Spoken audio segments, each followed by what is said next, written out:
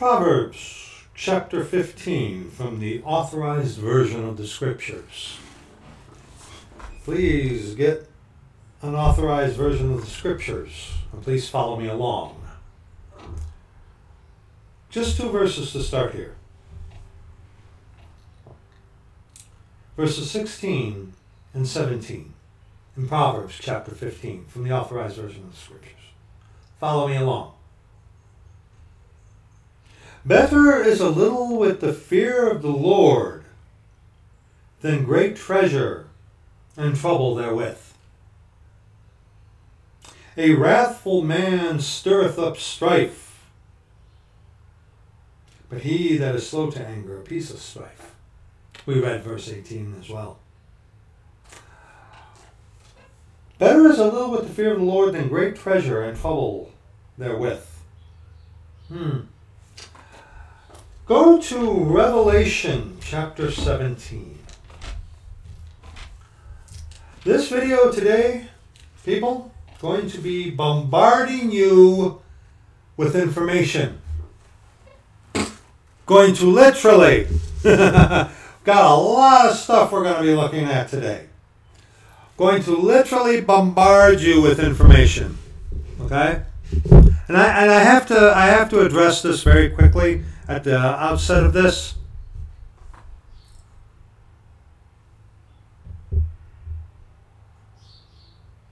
You know, the more you threaten me, the more I'm going to react by speaking out against your system.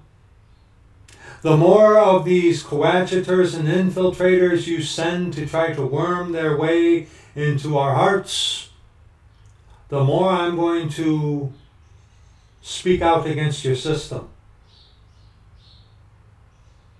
So, just so you know, you can continue to threaten me all you want. The more you threaten me, the more I'm going to come out against your system. Just so you know, okay? Beg your pardon, people, I had to say that, brethren. Revelation chapter 17. We are going to be looking at, very quickly here, a video by JFK, a, a excerpt from a speech where he was warning people about the Jesuit order.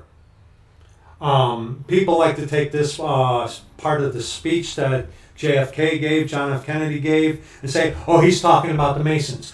No, he was talking about the Jesuits. Because when it comes to JFK, John F. Kennedy, let's get some let's get some stuff out there right away. Number one, John F. Kennedy was an adulterer and a fornicator. Yes, he was. Yes, he was. He was an adulterer and a fornicator. He had an affair with uh, Marilyn Monroe. Number two, John F. Kennedy was a Catholic. Yes, he was. Yes, he was. But see, onto the Catholics, specifically the Jesuit order, John F. Kennedy was especially odious because he was he is he was known as what is a liberal Catholic. And those of you pre-Vatican II Catholics, you know exactly what that is. And the moment uh, I say to you, John F. Kennedy, you as a pre-Vatican II Catholic, it gets your blood to boil, doesn't it? Doesn't it?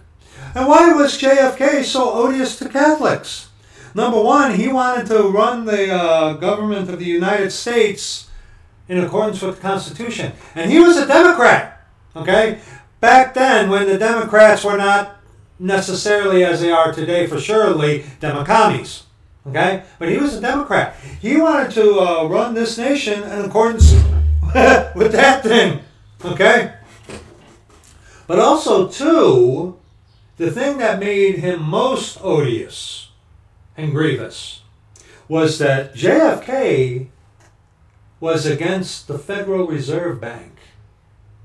He wanted to take and, um, power away from the Jesuit order, the Federal Reserve Bank, and the Federal Reserve Bank here in America, that is the Pope's bank, the Jesuits' bank. I'm going to prove that to you today.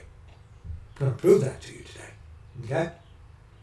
But he wanted to take that away from the Jesuits and put uh, everything into the Treasury of the United States and have the Treasury of the United States printing out currency that was backed by gold and silver.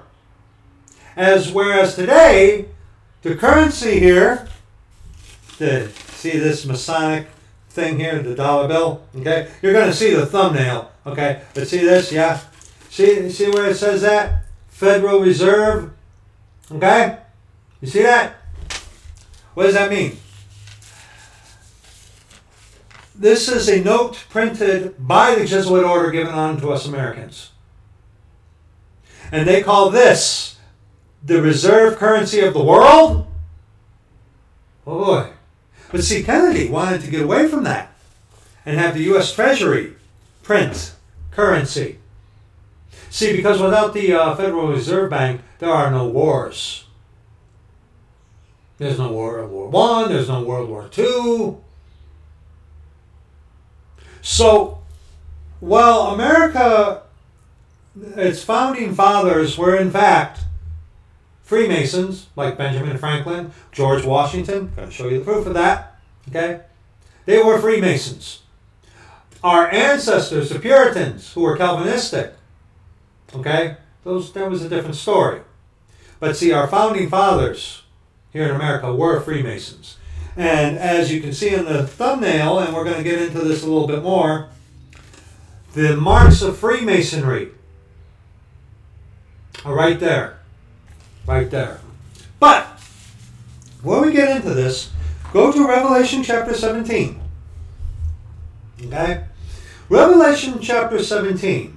There are those out there who like to say that it's the Masons that rule everything.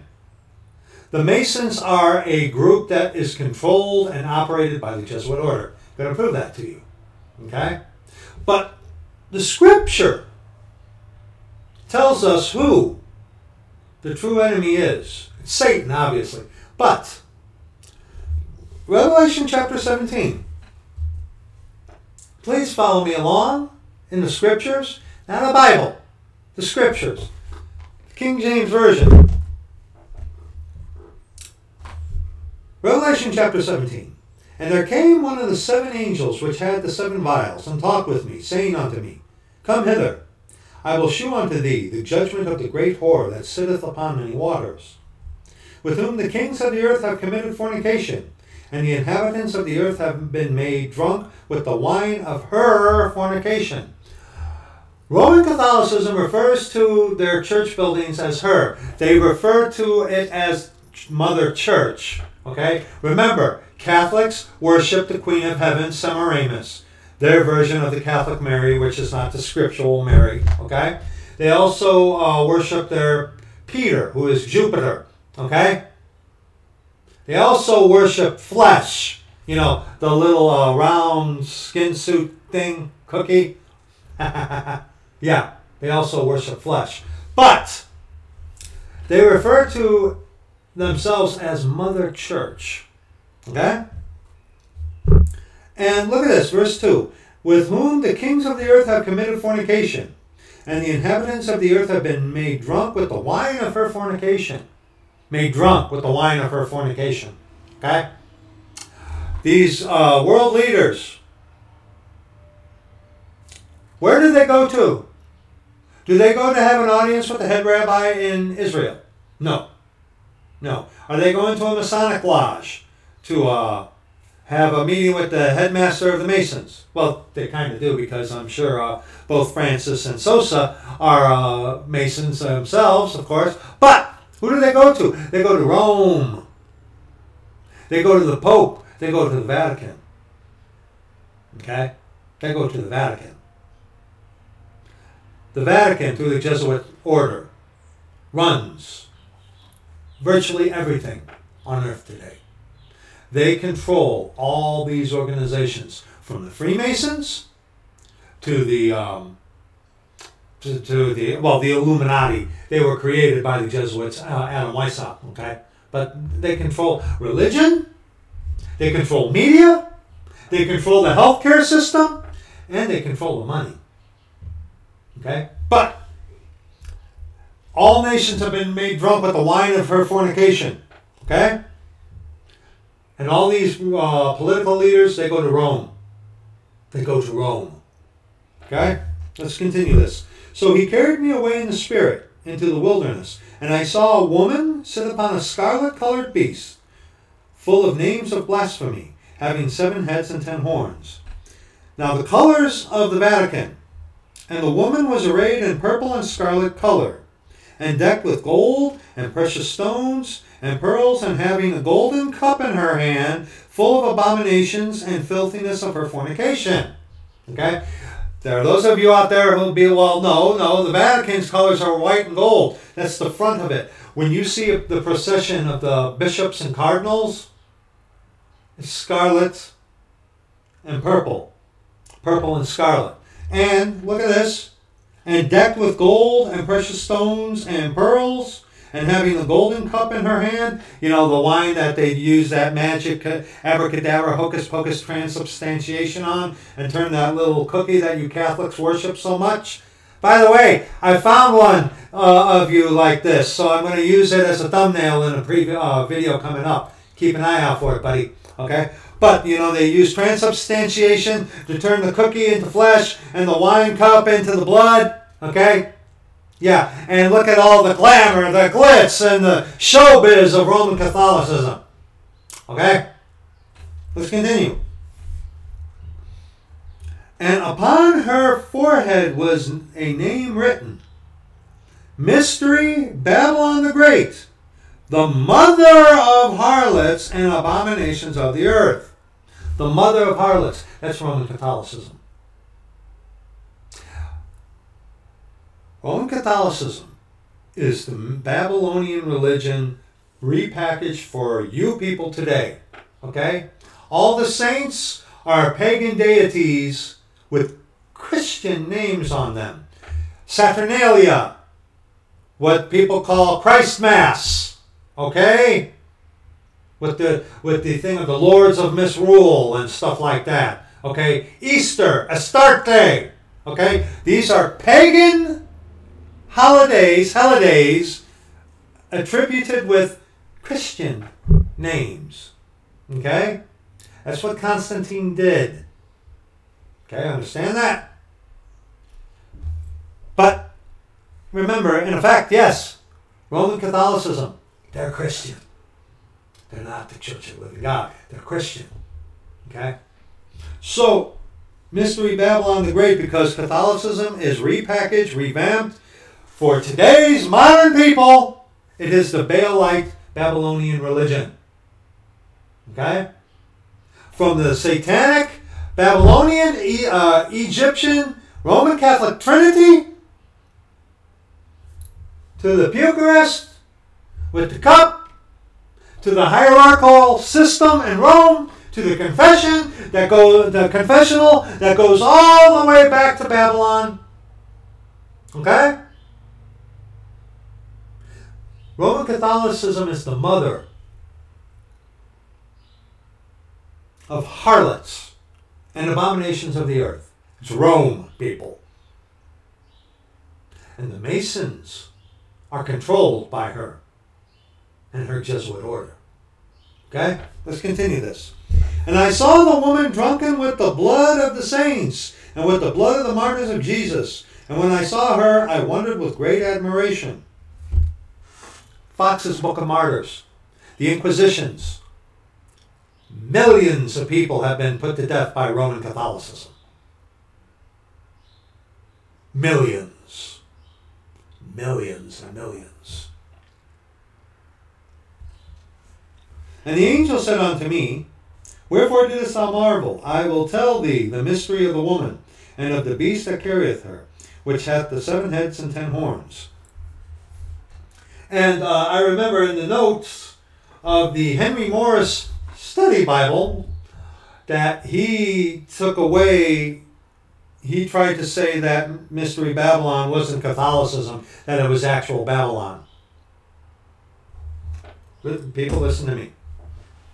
Okay. There are people out there who are ignorant, not knowing better. There are people out there who are willfully ignorant, don't want to know better. And then there are coadjutors, Jesuits, those who want to take away the attention from where it ought to be on Roman Catholicism. Okay?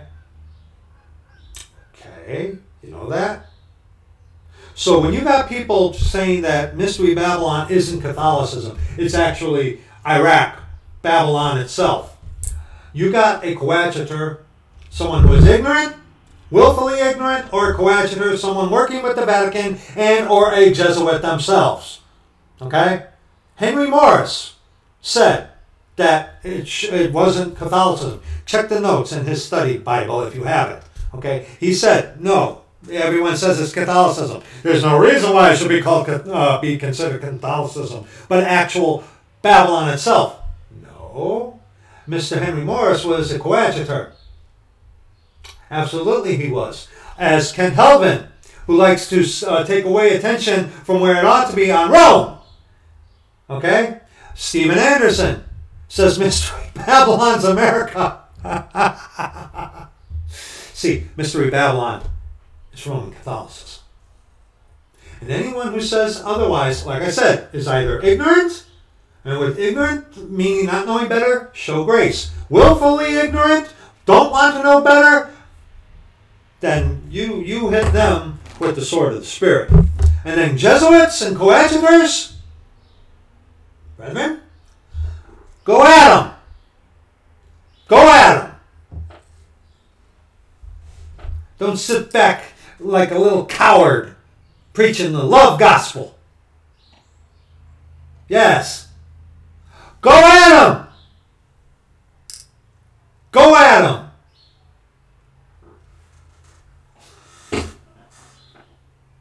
Don't get rid of your uh, get rid of them by joining them. How absurd. Let's continue. The beast that thou sawest was and is not, and shall ascend out of the bottomless pit and go into perdition, hell. And they that dwell on the earth shall wonder, whose names were not written in the book of life from the foundation of the world, when they behold the beast that was, and is not, and yet is. And here is the mind which hath wisdom. The seven heads are seven mountains on which the woman sitteth. Seven mountains, the seven hills, and stuff like that, which are of Rome. They have a song about it. It's talking about Rome. The original papal chair, the original papal chair is one that was situated on seven mountains. Okay? This is talking about Roman Catholicism, people. And there are seven kings, five are fallen, and one is, and one is not yet. To, one is not yet come. And when he cometh, he must continue a short space. And the beast that was and is not, even he is the eighth, and is of the seven, and goeth into perdition. And the ten horns which thou sawest are ten kings, which have received no kingdom as yet, but receive power as kings one hour with the beast. These have one mind, and shall give their power and strength unto the beast. These shall make war with the Lamb, and the Lamb shall overcome them, for he is Lord of lords and King of kings. And they that are with him are called and chosen and faithful. And he saith unto me, The waters which thou sawest, where the horse sitteth, are peoples and multitudes and nations and tongues. And he saith unto me, The waters which thou sawest, where the horse sitteth,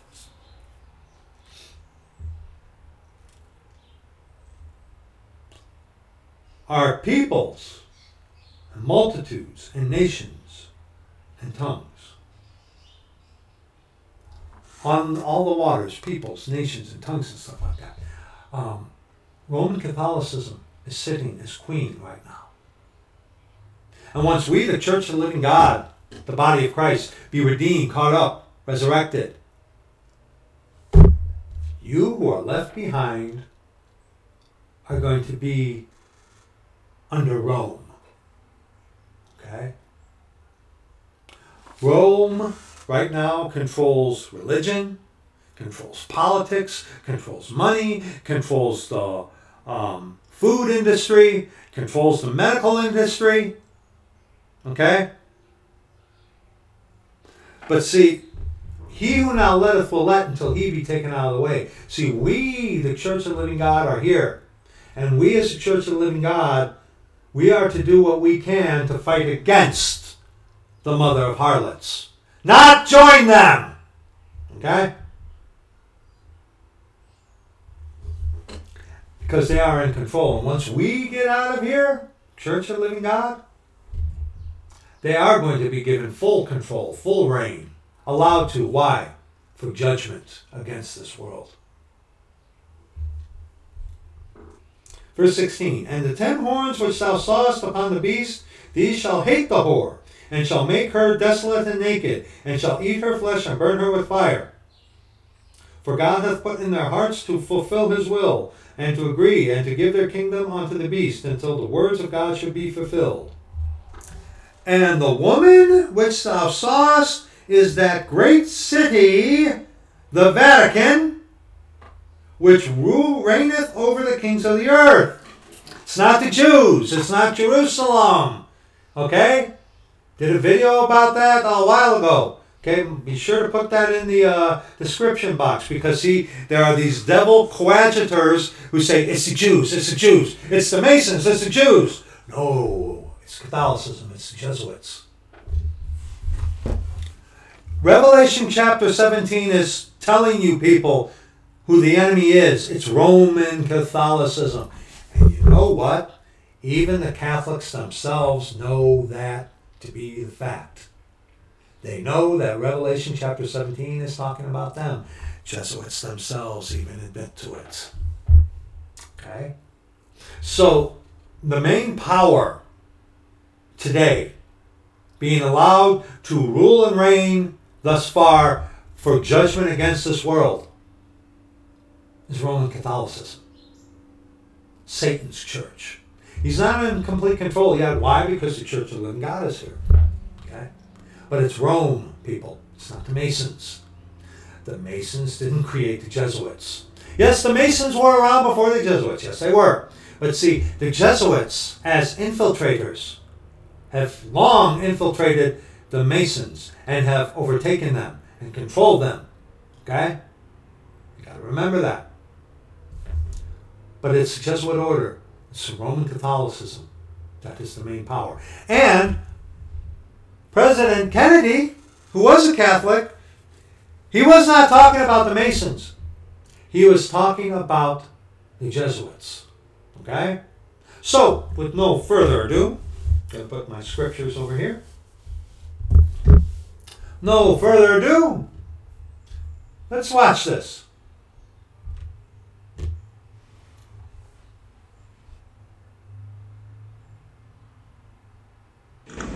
Ladies and gentlemen, the very word secrecy is repugnant in a free and open society.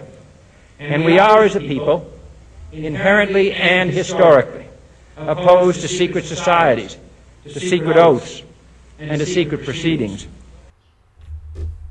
And you, I'm going to leave a, a uh, link for a documentary on the Jesuit order. Um, America, yes, even though Freemasons, uh, America was opposed to the Jesuit order. Absolutely. As absolutely. Absolutely. But see, you got to also remember, while our founding fathers were Masons, and a lot of the uh, people in America, like Samuel Morse, he spoke out against the Masons. Abraham Lincoln, with his famous, this uh, war would never have been possible without the sinister influence of the Jesuits. Okay? Americans, way back when, at our inception, were very well aware and knew about the dangers of the Jesuits, of the Society of Jesus, and secret societies. Okay? Secret oaths he's talking about is the extreme oath of the Jesuits. Okay? See, Kennedy wanted, like I said, to run this country according to that thing, the Constitution. He wanted to print our own money and not be dependent on Rome and not to have this country dictated as Rome from the Pope. Hence, made him very odious. He was a liberal Catholic. Catholics, you pre Vatican II Catholics, and you Catholics in general, uh, liberal Catholics are despised. Almost as despised as Jews and so called Protestants are onto the Catholics. Okay? So let's continue this. We decided long ago that the dangers of excessive and unwarranted concealment of pertinent facts far outweighed the dangers which are cited to justify it. Even today, there is little value in opposing the threat of a closed society by imitating its arbitrary restrictions. Even today, by imitating its arbitrary restrictions, what does that mean? What is he saying? That he didn't want to run this country like the Vatican. He wasn't talking about Masons people, he was talking about the Jesuits. This was one of the things that got, among many, this was one of the things that got him killed. And by the way, the Jesuit order killed Kennedy. I'm going to put a link in the uh, description box, um, the uh, thing by uh, Eric John Phelps that talks about the assassination of Kennedy. Okay. There is little value in ensuring the survival of our nation if our traditions do not survive with it. And there is very grave danger that an announced need for increased security will be seized upon by those anxious to expand its meaning to the very limits of official censorship and concealment. Which is happening today censorship and concealment. Hmm. That I do not intend to permit to the extent that it's in my control. And no which is why they killed him. No official of my administration, whether his rank is high or low, civilian or military, should interpret my words here tonight as an excuse to censor the news, to stifle dissent, to cover up our mistakes, or to withhold from the press and the public the facts they deserve to know.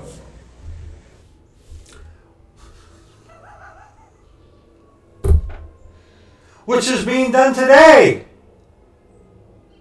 See, this is what got that. Yes, he was a Democrat. Yes, he was an adulterer and a fornicator. Yes, he was. Yes, he was a Catholic. But everything he has thus far said has been here. Uh, what, what was it you said? I spit on Mother Church. May God spit you out, right? Right? Yeah? This is what Kennedy was doing to Roman Catholicism.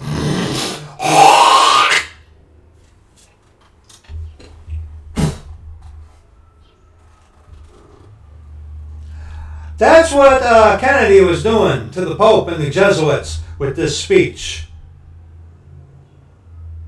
That's exactly what he was doing. Take your pardon.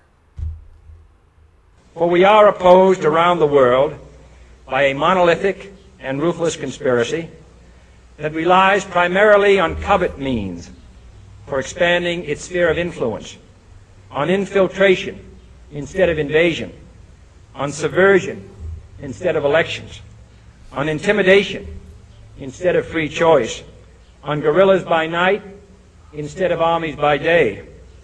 It is a system which has conscripted vast human and material resources into the building of a tightly knit, highly efficient machine that combines military, diplomatic, intelligence, economic, scientific, and political operations. That's the Jesuit order he's uh, describing, people. That is the Jesuit order, infiltration and what. For example, you know, you're to threaten me? At least have the stones, tough guy. At least have the stones to let me know who you are. You're so tough, huh? Yeah, you're a tough guy can threaten me without even letting me know who you are. I have an uh, I have a good idea who it may be. Okay, can't say for sure, but you know you're gonna you're gonna threaten me. At least at least have the stones, tough guy. Let me know who you are. Hmm.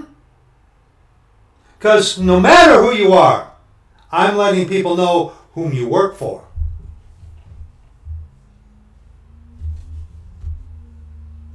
Its preparations are concealed, not published. Its mistakes are buried, not headlined. Its dissenters are silenced, not praised. No expenditure is questioned. This is No rumor is printed. No secret is revealed. No president should fear public scrutiny of his program. For from that scrutiny comes understanding. And from that understanding comes support or opposition. And both are necessary. I am not asking your newspapers to support an administration, but I am asking your help in the tremendous task of informing and alerting the American people. For I have complete confidence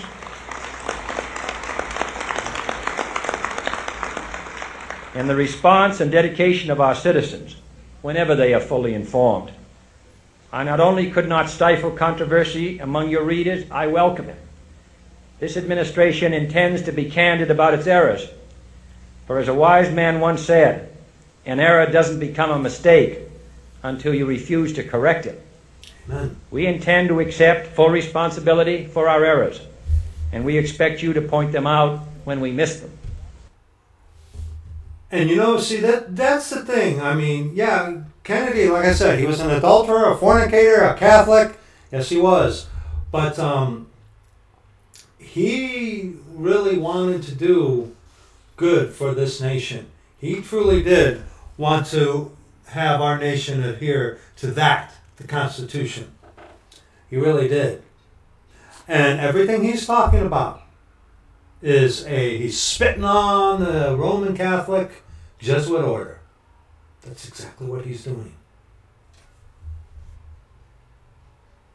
And accountability. See, here in America, President Harris and her front man Smoking Joe, they're accountable to Sosa.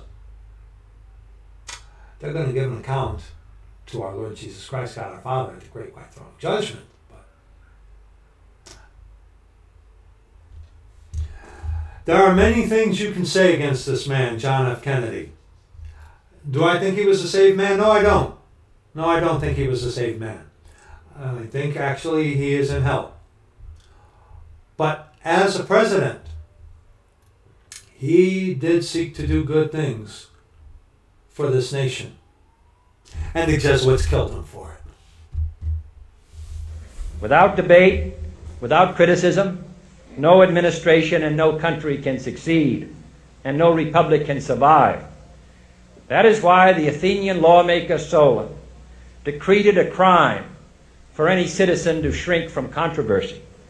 And that is why our press was protected by the First Amendment, the only business in America specifically protected by the Constitution, not primarily to amuse and entertain, not to emphasize the trivial and the sentimental, not to simply give the public what it wants, but to inform, to arouse, to reflect, to state our dangers and our opportunities, to indicate our crises and our choices, to lead, mold, educate, and sometimes even anger public opinion. This means greater coverage and analysis of international news, for it is no longer far away and foreign, but close at hand and local. It means greater attention to improved understanding of the news, as well as improved transmission. And it means, finally, that government at all levels must meet its obligation to provide you with the fullest possible information outside the narrowest limits of national security. And so it is to the printing press, to the recorder of man's deeds, the keeper of his conscience, the courier of his news, that we look for strength and assistance, confident that with your help, man will be what he was born to be, free and independent. Yeah. Get that out. And you see that. Oh, here, here. Ladies and gentlemen, the very words Bear with me. Bear with me, brethren. Okay. so now you check out that video, A Dark Winter, and the links that are in there about the Dark Winter, about um, news censorship and whatnot, which our news here, which is Jesuit controlled, is doing today. Um, yeah. Yeah, can you see why the Jesuits killed Kennedy? And let's let's get on a, a, little bit more of this. Okay, now this is these are some of the uh, this is what some of the stuff I'm going to be sharing with you today. Okay, I'm also going to be going through some S from uh, this and also this. But let's remember a few things about the Jesuit order. Okay, first and foremost, we're going to start with this from Alberto. Okay? Shared this with you on several occasions. But going to be reading a part of this from Alberto about this. Okay? As pertaining unto the Masons. Okay? Going to be reading this right here. Okay? This right here, if you can, okay, if you can, pause this and read it. And then I'm going to be reading this entire, let me see, let me see. This entire page.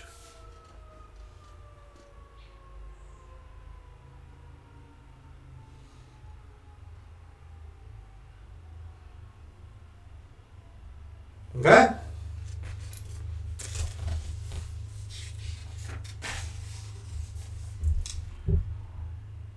When I became a priest, I believed I would find the truth and have peace in my heart as I had promised my mother. Instead, I was miserable. Life of every Catholic. The higher I went in the Jesuit order, the more corruption I saw within the institution. I was invited to attend a secret black mass by high ranking Jesuits in a monastery in the northern part of Spain. When I knelt to kiss the ring of a high official, I saw a symbol on that ring that made my blood run cold. It was a Masonic symbol, the square and the compass. The one on top signifies the man. The one on the bottom signifies the woman. The G in the middle stands for gender or generativity. Okay? It's a sex symbol, which is on our dollar bill. Masons are Luciferians. They're satanic, just like Catholics. Okay? Just like the Jesuits. Jesuits control the Masons. But oh, hold on. It was a Masonic symbol a thing I hated and had been told to fight against. Interesting. Everything was falling apart. I found out the Black Pope, the Jesuit general, who actually runs the Vatican in Rome behind the scenes, was also a Mason and a member of the Communist Party in Spain. So the head of the Jesuits was also a Mason. Hmm, very interesting. It's not that he was a Mason first, then a Jesuit. No, the Masons were before the Jesuits, yes. But see, the Jesuits who who uh, specialized, as we saw Mr. Kennedy speak about them, infiltration. See, Kennedy was, without naming them, Kennedy was specifically fingering the Jesuit order. Okay? He was specifically talking about the Jesuits, not the Masons. The Masons are puppets controlled by their puppet master, the Jesuits, i.e., the Vatican. Okay?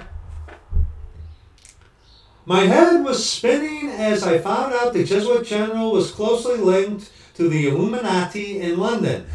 Adam Weishaupt, a Jesuit. Okay? Adam Weishaupt, a Jesuit. The Illuminati was created by the Jesuits. okay? Brother, that is heavy stuff. I was sick for weeks. Everything I was ordered to fight against all tied together at the top. The pyramid structure, remember? Ignatius Loyola, founder of the Society of Jesus, the Jesuits, was a, was a member of the Alumbros, Alumbrados, which means the enlightened or the Illuminati. And remember, Weishaupt, created the Illuminati, who was a Jesuit. Because of my experience in espionage, I was ordered to join the ecumenical forces under Pope John, Pope John the 23rd. The Protestants were no longer to be called heretics, but separated brethren. Vatican Council II. The communists were no longer our enemies. Believers, one world church. Here, here, get get get, get a load, get a load of it. Wait a sec, wait a sec. See that? Get get a load of that. Get a load of that. Okay. Pause that and read it. Believers, one world church. Pro- Protestants of all denominations, Orthodox churches of all kinds, Muslims, Brahmins, Buddhists, morons, Mormons, occult churches, Eastern religions, TM, Jehovah's Witnesses, Jehos, science of mind, Judaism, non believers, one world government, communists, all Masonic lodges, socialists, atheists, labor unions, etc. We have successfully infiltrated all these organizations. Yeah, they have. Thanks to our undercover agents, we have quietly moved into Christian TV and publishing and have been accepted as teachers, pastors, and evangelists. We are pushing only love and unity to pull us all together. You sellout. You wicked sellout. Yes, I'm talking about you. You wicked sellout. This is our revival. Our masterpiece is the third force, which is the charismatic movement. This is the bridge to Rome. Those Protestants have accepted us with open arms. Yeah, because you're preaching love to everybody.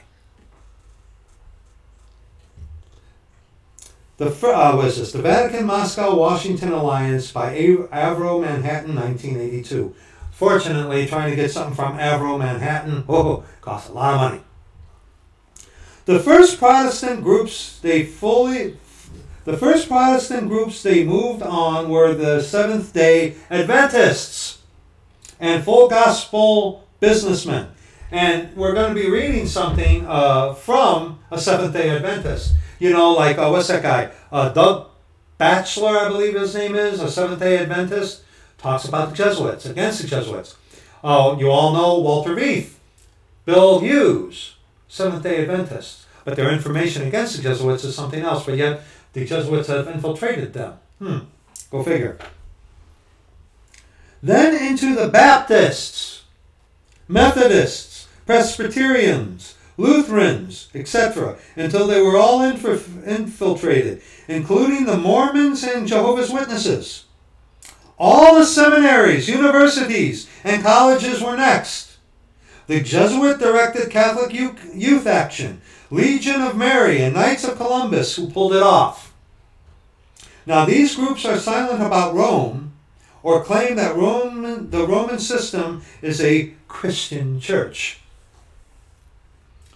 They are winning through compromise. Almost all Protestant pastors are afraid to speak out against Rome. Aren't you? If they did, those planted in their churches would attack them on demand. Oh, wow, really? So you speak out against Rome, uh, brethren will come up, will finally, will finally make themselves known as coadjutors and find some of the most ridiculous things to attack you on. Really? yeah. Pay attention to this stuff, people.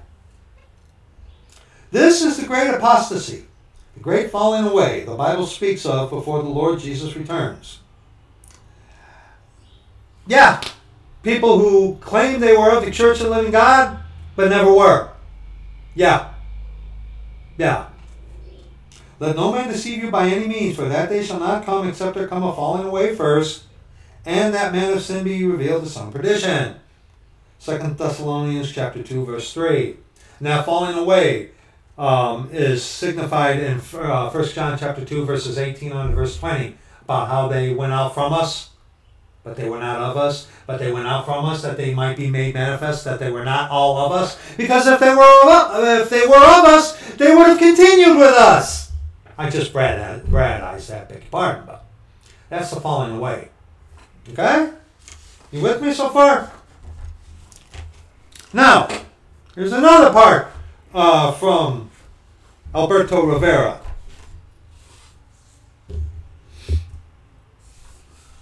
Going to read this page here in its entirety. Okay? I'm oh, sorry. Here, I'm working. I'm working on it, brother.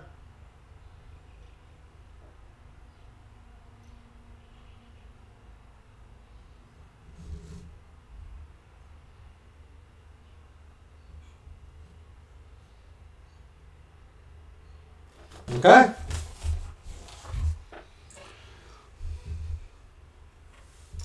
The religious machine of today is very, very old. It started right after Noah's flood. Satan used two key people, Nimrod and his wife Semiramis, the queen of heaven, the scriptures talk about, to originate this worldwide occult religion in the city of Babylon. After Nimrod's death, Semiramis, and this is all documented in the two Babylons, after Nimrod's death, Semiramis had a son, Tammuz, and claimed he was Nimrod reincarnated. Reincarnated. This Nimrod, Nimrod, Tammuz, married his mother. And after his death, Semiramis claimed he became that he claimed he had become the sun god Baal. Some of the names given him were Sol, S O L, Ashur, Etis, Adonis, Horus. Oh, like the eye of Horus? Sun god? Hmm. And that eagle, like you see in the thumbnail? That's Ra, the sun god. That's on our dollar bill. And the Mason sign, the seal of the Masons, the false, erroneous flag of Israel today. The uh, flag of the tribe of Judah is the true flag of Israel. Okay? That's the true flag. But the Mason sign on our dollar bill, yeah. The system made her into a goddess. Semiramis also ended up with many names throughout the centuries, like Isis in Egypt, Venus, and the Queen of Heaven, which is given to us in the scriptures. Just like the religious system of today, it was likened to politics worldwide.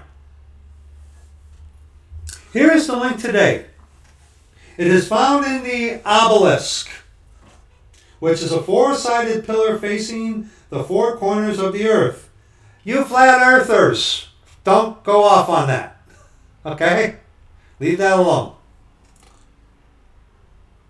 At its peak is a pyramid.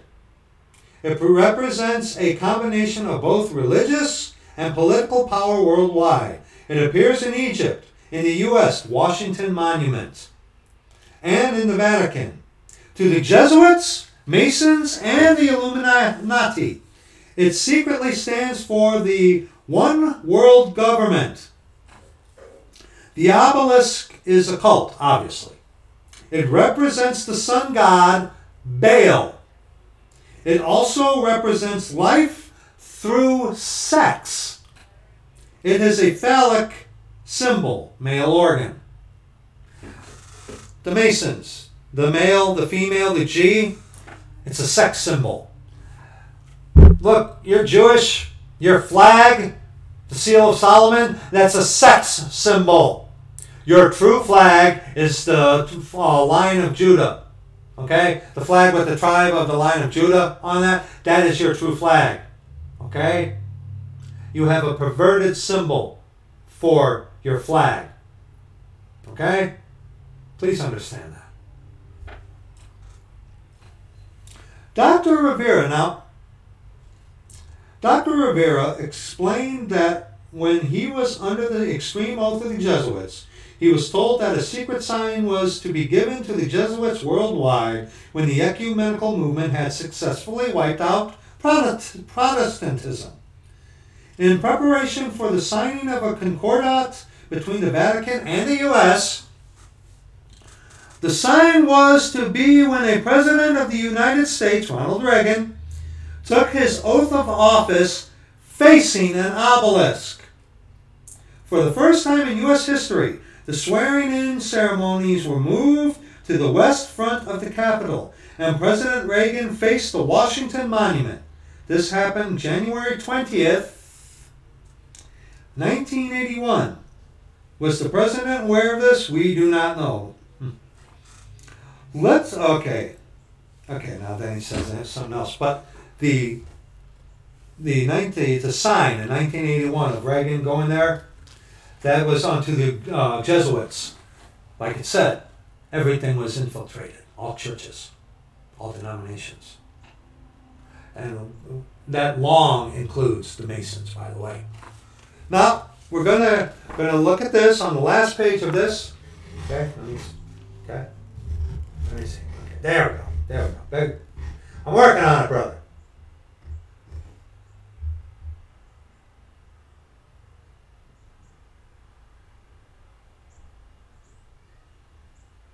Okay? And so, for the last 1600 years, Satan has almost destroyed everybody through the Roman Catholic institution. Millions of Catholics and others died in World Wars I and II. For what? Just to give more power to the Vatican. They play games. And millions die for it.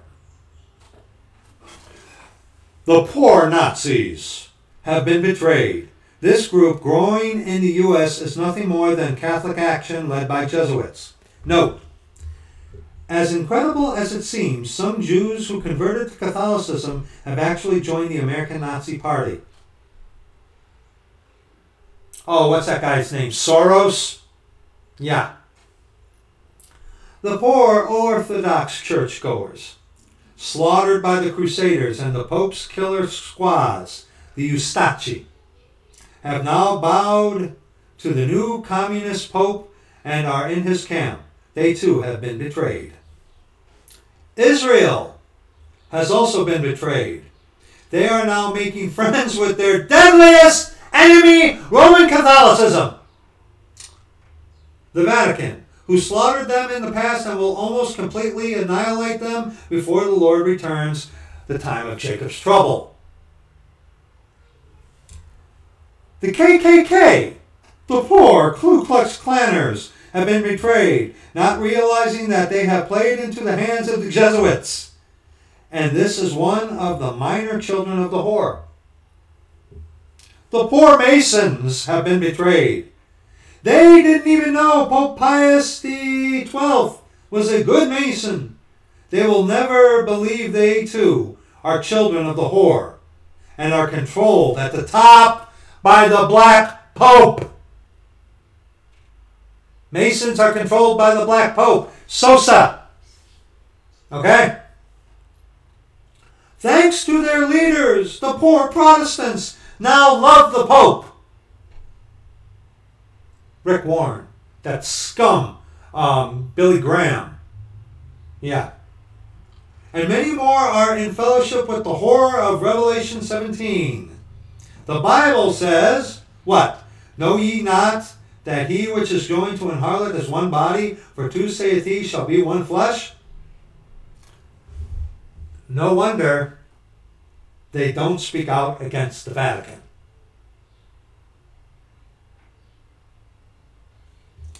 The poor communists have been betrayed. They are simply a branch of the Roman Catholic institution, the bully for the Vatican. And communism is what they want to institute right now through the United Nations.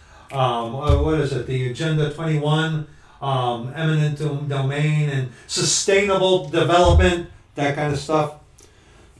They are the muscle looking for a utopia on earth. And remember, the book Utopia, where the Jesuits created communism. And then they attributed the creation of communism, which was based on their work uh, in the Reducciones in Paraguay.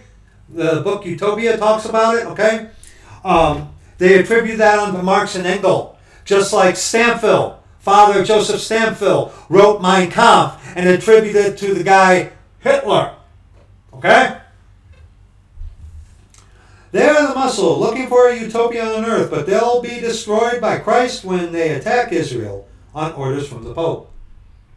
And worst of all, the precious Roman Catholics have been betrayed by a slick presentation of Baal worship dressed up to look like Christianity.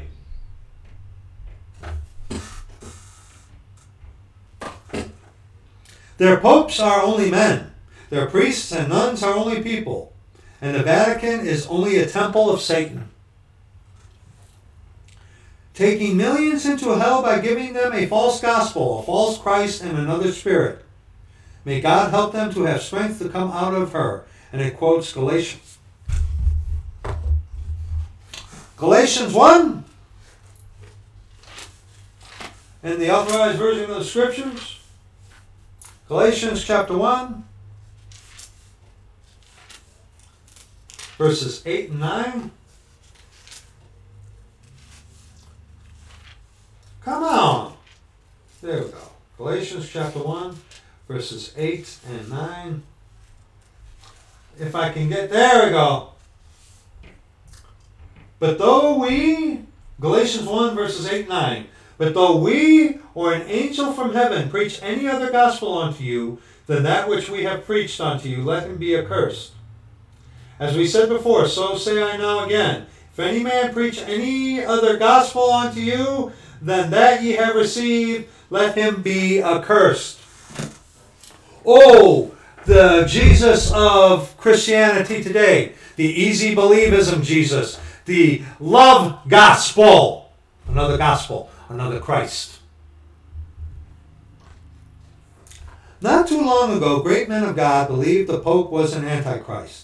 They were Wycliffe, Luther, Calvin, Tyndale, Knox, Sir Isaac Newton, Fox, Wesley, Finley, Moody, Spurgeon. Could they be right? Let's see what the popes said about themselves. We declare, assert, define, and pronounce to be subject to the Roman pontiff. To be subject to the Roman pontiff is to every human creature altogether necessary for salvation. Pope Boniface, 5, 6, 7, 8, 9. Uh, 5, 6, 7, 8. Ah, Pope Boniface the Eighth. I am all in all and above all, so that God Himself and I, the Vicar of God, have but one consist, consistent story. Consist story. And I am able to do almost all that God can do. What therefore can you therefore can you make of me but God? Pope Nicholas. We hold upon this earth the place of God Almighty. Pope Leo the Thirteenth. There you have it. The popes admitted they were antichrists. Now, who will you serve? You must choose Christ or the Vatican.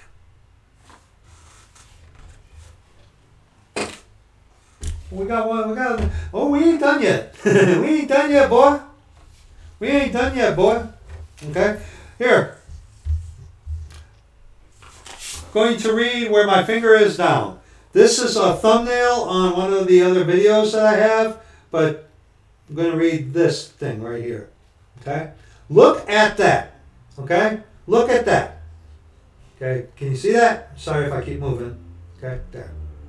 There we go. Can you see that?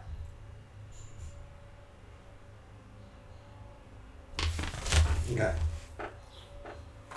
His color is black. the color of the Jesuit order, which seeks to dominate the world economy for the Antichrist, son of perdition, through the following front organizations. Number one starts with the Jesuits. The Illuminati. You saw it. The Club of Rome. Council of Foreign Relations. The Opus Dei. International Bankers. The Masons.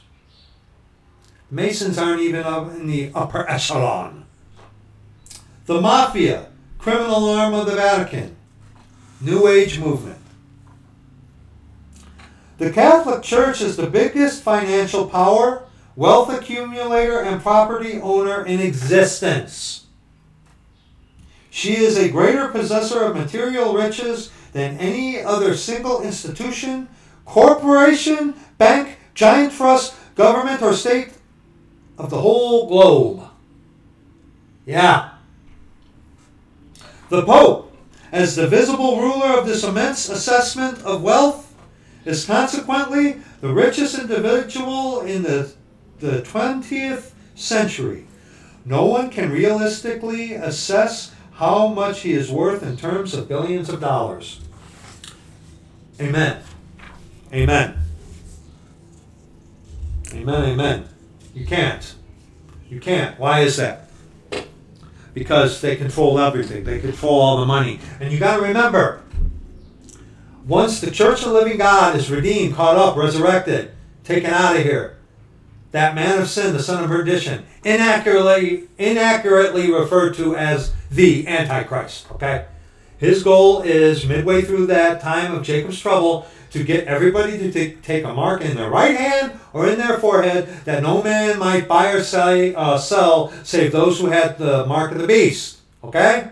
That's the ultimate goal to control all the, con- the economies. Okay?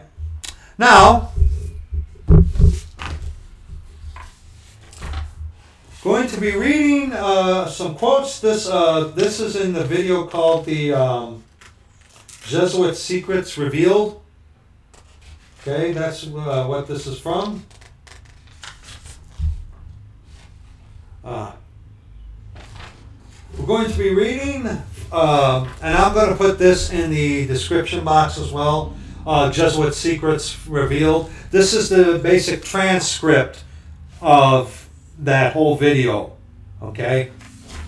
Uh, so and this this website that you get this from is a Hebrew is apparently a Hebrew roots website too. But Samuel Morse Here's a quote from Samuel Morse. I'll put the video of this in the description box for you, okay? The Jesuits, this society of men, after exerting their tyranny for upwards of 200 years, at length becomes so formidable to the world, threatening the entire threatening the entire subversion of all social order, that even the Pope, whose devoted subject they are, subjects they are, and must be, by the vow of their society, was compelled to dissolve them. They had not been suppressed, however, for fifty years before the waning influence of popery and despotism required their useful labors to resist the light of democratic liberty, and the Pope, Pius V, 6, simultaneously with the formation of the Holy Alliance, revived the order of the Jesuits in all their power, from their vow of unqualified submission to the sovereign Pope Pontiff, they have been appropriately called the Pope's bodyguard. And do Americans need to be told what Jesuits are? But Yeah, apparently they do. They are a secret society, a sort of Masonic order, with superadded features of revolting odiousness and a thousand times more dangerous. Yeah, the Jesuits control the Masons. Okay? They are not merely priests of one religious creed. They are merchants. Pay attention to this. They are merchants and lawyers and editors and men of any profession, having no outward bad badge in this country by which to be recognized. They are about in all your society. There are merchants and lawyers and editors and men of any profession. See, again, coadjutors want to tell you that Jesuits don't mess with the little people. No, it's, it's the pyramid thing, okay? Starts from the bottom, and all that's from the bottom, the small people, it all drifts up, funnels into one head that the head may be enriched. The orders come down from the one head and feed all down the pyramid, okay? Well, why do you think the pyramid thing is so big in the occult? Okay? And this is going to be important to remember what we're looking at here from Samuel Morse and a bit from their secret oath uh, about the Masons. Okay? They can assume any character. Fragile, weak people, loving, smiling people, bold people who make an idol out of a man. They can assume any character that of angels of light or ministers of darkness to accomplish their one great end, the service upon which they are sent, whatever that service may be. Whether it's to infiltrate, to get information, to destroy, kill, whatever it is. They are all educated men. Yes, they are. Prepared and sworn to start at any moment and in any direction. And for any service commanded by the general of their order, bound to no family, community, or country, by the ordinary ties which men which bind men, and sold for life to the cause of the Roman pontiff. We're going to be reading about the Titanic, by the way. Keep this in mind when we get to that. And who are these agents? They are, for the most part, Jesuits, an ecclesiastical order proverbial through the world for her cunning, duplicity, and total want of moral principle. An order so skilled in all the arts of deception that even in Catholic countries, in Italy itself, it became intolerable, and the people required its suppression. Was there another thing? Yes. Here's a quote by Fyodor Dostoevsky, or whatever his name is, the Russian novelist. The Jesuits are simply the Roman army for the earthly sovereignty of the world in the future. With the pontiff of Rome for emperor, to be the son of perdition. That their that's their ideal. It's simple lust of power, of filthy earthly gain, of domination, something like a universal serfdom, with them as masters. That's all they stand for. They don't even believe in God, perhaps.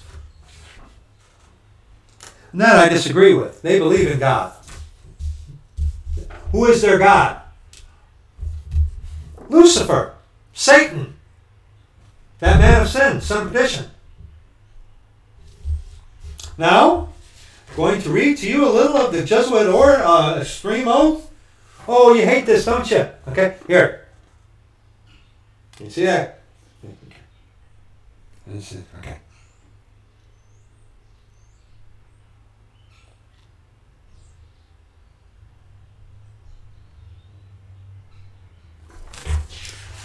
And to right here, I'm going to read up to right here. Okay? Up to right here, where my finger is. Okay?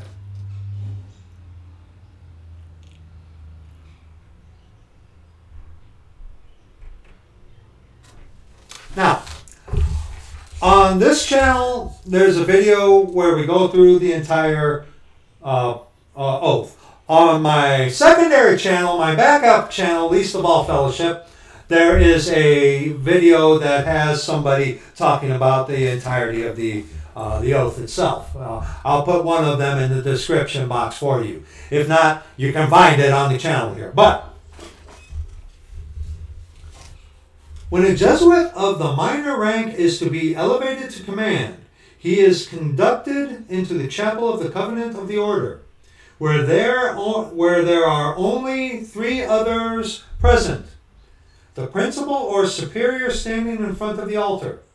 On either side stands a monk, one of whom holds a banner of yellow and white, which are the papal colors, and the other a black banner with a dagger and red cross above a skull and crossbones, with the words INRI, and below them the words Istum Necar Regis Impius, the meaning of which is, It is just to exterminate or annihilate impious or heretical kings, governments, or rulers. Upon the floor is a red cross at which the postulant or candidate kneels. The superior hands him a small black crucifix, which he takes in his left hand and presses to his heart.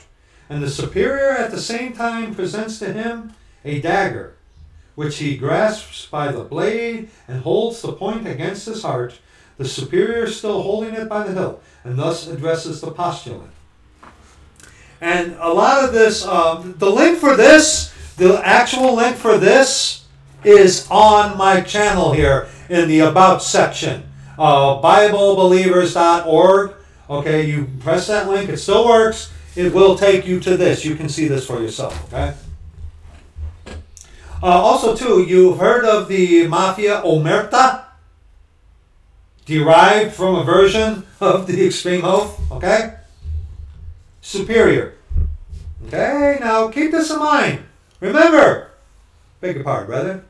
Remember, infiltrate. Remember what we listened to by Kennedy?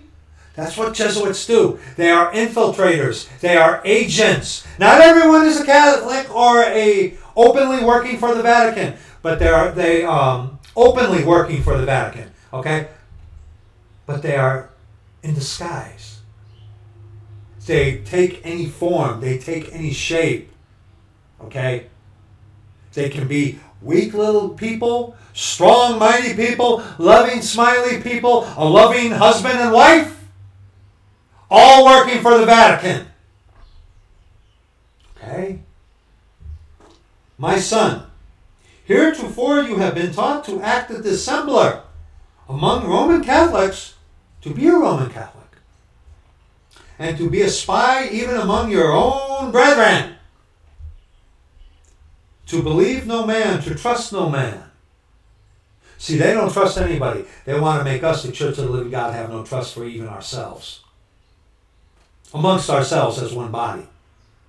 See, that's what people who are working for the Vatican who come in and want to cause division because they themselves who are working for the Vatican don't trust anybody and they want to bring that kind of, you know, they uh, uh, false brethren crept in unawares to spy out our liberty. They want to hinder us from having trust in one another as a church of living God, one body.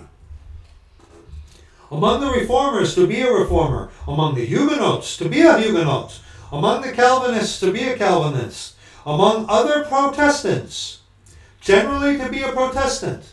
And obtaining their confidence to seek even to preach from their pulpits and to denounce with all the vehemence in your nature our holy religion and the Pope, and even to descend so low as to become a Jew among Jews. That's what the Catholics, Jesuits, think of the Jewish people. That you might be enabled to gather together all information for the benefit of your order as a faithful soldier of the Pope. You have been taught to insidiously plant the seeds of jealousy. This is what they do. This is what these coadjutors do. That's what these devils, hi Smiley, on YouTube do. Okay? That's what these devils do. Okay? Catholics. You're, you're all Catholics. You're either working for the Jesuits or you are Jesuits. if you're a Mason, you're working for the Jesuits. Okay? It doesn't matter. You're, you're all Catholics. All of you. All you infiltrators, scum. You have been taught to insidiously plant the seeds of jealousy and hatred between communities, provinces, states that were at peace. Yeah, we've experienced that. Uh, people working for the Vatican come in all peacefully, smiling, loving, and then they come up with ridiculous accusations and drop bombs to uh, amongst those who were at peace. Yeah. And incite them to deeds of blood, involving them in war with each other. See, that's what they want to do. They want to get the body of Christ, the Church of the Living God, to fight against each other, okay? And to create revolutions and civil wars in countries that were independent and prosperous, cultivating the arts and the sciences, and enjoying the blessings of peace. To take sides with the combatants and to act secretly with your brother Jesuit, who might be engaged on the other side, but openly opposed to that which with which you might be connected, only that the church might be the gainer in the end. In the conditions fixed in the treaties for peace, and that the end justifies the means. I've seen this all over. There are people who pretend to be fighting against each other. A young Canadian boy and a fine English gentleman pretending to fight with one another. They're working on the same side. Okay, they're working on the same side. The end justifies the means. Okay, the these agents come uh, uh, come about. Uh, it's like, why are you always talking about Jesuits? Why this and why that? And sending other people about, oh, uh, God's love is unconditional. It, they're all working together. See, the Hegelian dialect, thesis, antithesis, synthesis, okay? They're working both sides. Because why? The end justifies the means, people. You have been taught your duty as a spy to gather all statistics, facts, and information in your power from every source, to ingratiate yourself into the confidence of the family circle of Protestants and heretics of every class and character. And my wife and I have experienced this firsthand. We experienced coadjutors who work for the Vatican who do this exact thing. We've experienced it.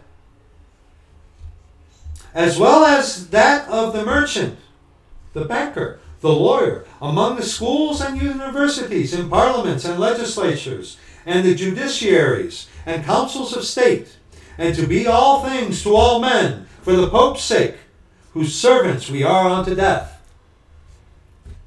You have received all your instructions heretofore as a novice, a neophyte, and have served as coadjutor, confessor, and priest but you have not yet been invested with all that is necessary to command in the army of Loyola in the service of the Pope. You must serve the proper time as the instrument and executioner as directed by your superiors. Yeah. Being led around like a dog upon a leash.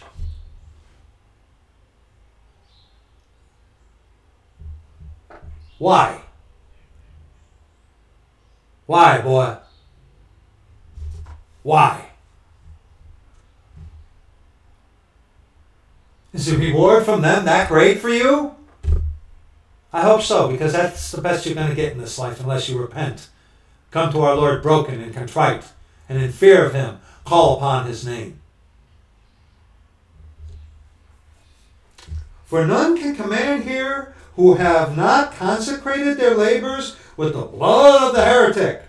For without the shedding of blood, no man can be saved. See, it's a meritorious act on the Jesuits when they kill people. You know, in Utah, where morons are, they still have death and execution by firing range because of this very thing. Masons are in league with the Jesuits, too, by the way, if you haven't figured that one out. Let's continue. Therefore, to fit yourself for your work and make your own salvation sure, you will, in addition to your former oath of obedience to your order and allegiance to the Pope, repeat after me. See, when these people, these coadjutors, these devils, they they don't love you. They're not telling you the truth. You know, Smiley up in Canada there with his just believe doctrine. Okay? Preaching the love gospel. Those of you in Europe, yeah. Yeah. Yeah. They don't love you. They're not telling you the truth. They're preaching to you another Jesus, another gospel. They're working for the Vatican. One, probably most definitely a Jesuit himself. Some of fear. Fear of man bringeth snare. But whoso putteth their trust in the Lord shall be made safe. Manly Palmer Hall, a mason of masons. What does he have to say about the masons? Now we've I've showed you the evidence. The Masonic lodges, the masons, are controlled by the Jesuit order. Okay? There was a time when the Masons and Jesuits fought. Yes, there was. But at, least, at, at the very least, by the time of Alberto Rivera, at the very least, even beforehand, even beforehand, I say in the beginning 1800s at the least, at the least, at the least. Well, that doesn't really hold true because Weishaupt was a Jesuit and he was also a Freemason. So, so it goes further back, way further back, to how long the Masons have been controlled by the Jesuit order. Okay, but we're going to learn a little thing about now. I freely admit to you that uh, the Freemasons are not, you know, not my big thing. I, I, you know, the Lord has taught me a lot about the Jesuits and how to spot them and to preach against them, no matter how they threaten me.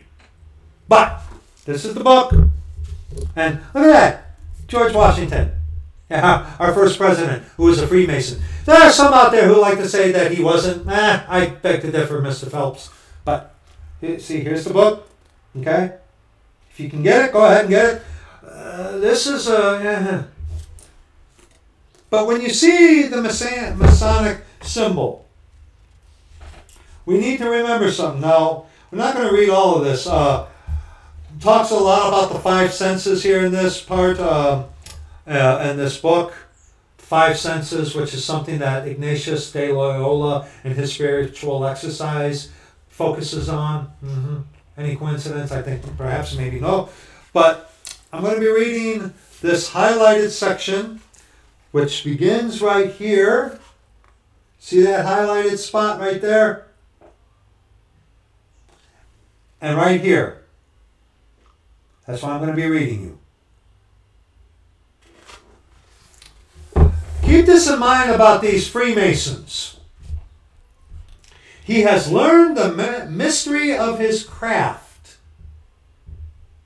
the seething energies of Lucifer are in his hands. And before he may step onward and upward, he must prove his ability to properly apply energy. No marvel, Satan himself is transformed as an angel of light. In another video, maybe today we'll see how much time I got left today, but in another video I'm going to address that a little bit more thoroughly. Okay? So the God of the Freemasons is Lucifer.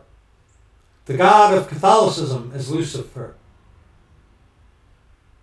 Mm-hmm. Right here, from top to bottom of the yellow, this is what I'm going to be reading you, okay? From top to bottom, from right there to where you see that yellow bracket, that's what I'm going to be reading you. There, there. Sorry, brother, I'm working on it. Okay, this is what I'm going to be reading. You.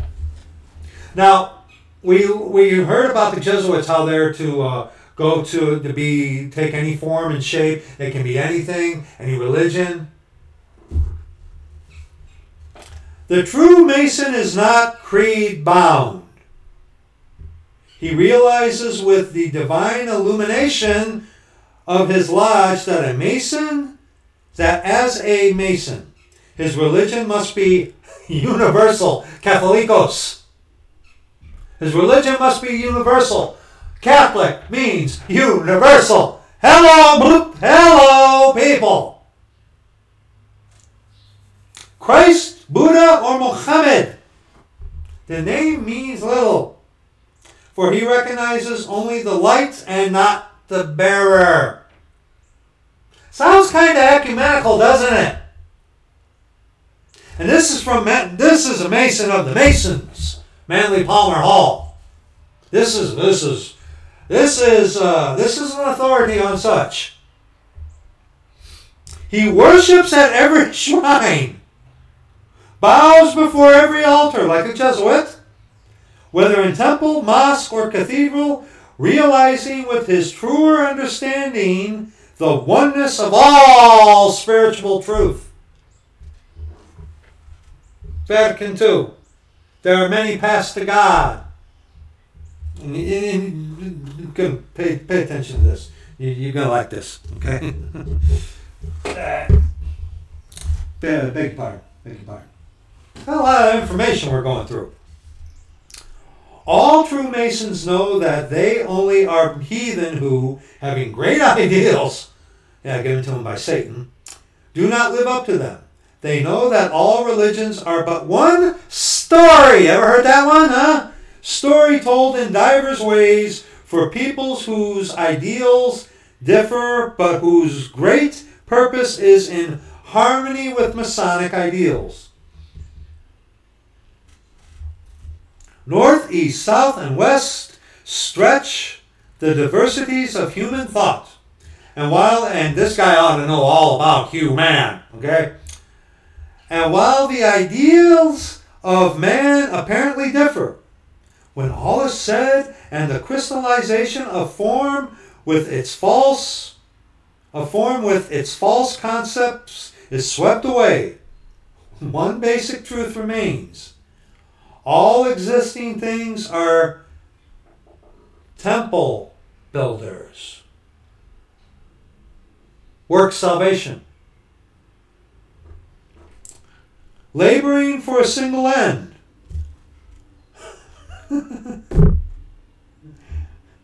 Verbatim. No true Mason can be narrow, for his lodge is the divine expression of all broadness. Oh, we're going to read that. Don't worry about it. There is no place for little minds in great work. You know where we're going? For those of you who do not know, Matthew chapter 7, Mason, controlled by the Jesuit order. Uh. Oh, Matthew chapter 7, verses 13. Hmm. Verse uh, 23. Why not?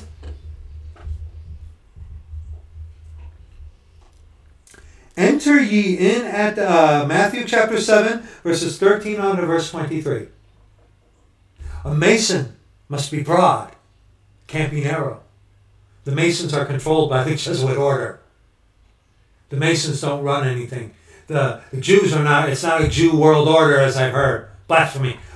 No, why is that blasphemy? Because Jesus Christ was a Jew. He followed the law. He kept it perfectly. Okay? He came onto his own who were Hebrews. I already explained this in a video before. But, okay? So, broad is the way that leads to life? Really? Enter ye in at the straight gate, for wide is the gate, and broad is the way that leadeth to destruction. And many many Jesuits, many there be which go in thereat. Because straight is the gate, and narrow is the way which leadeth unto life, and few there be that find it.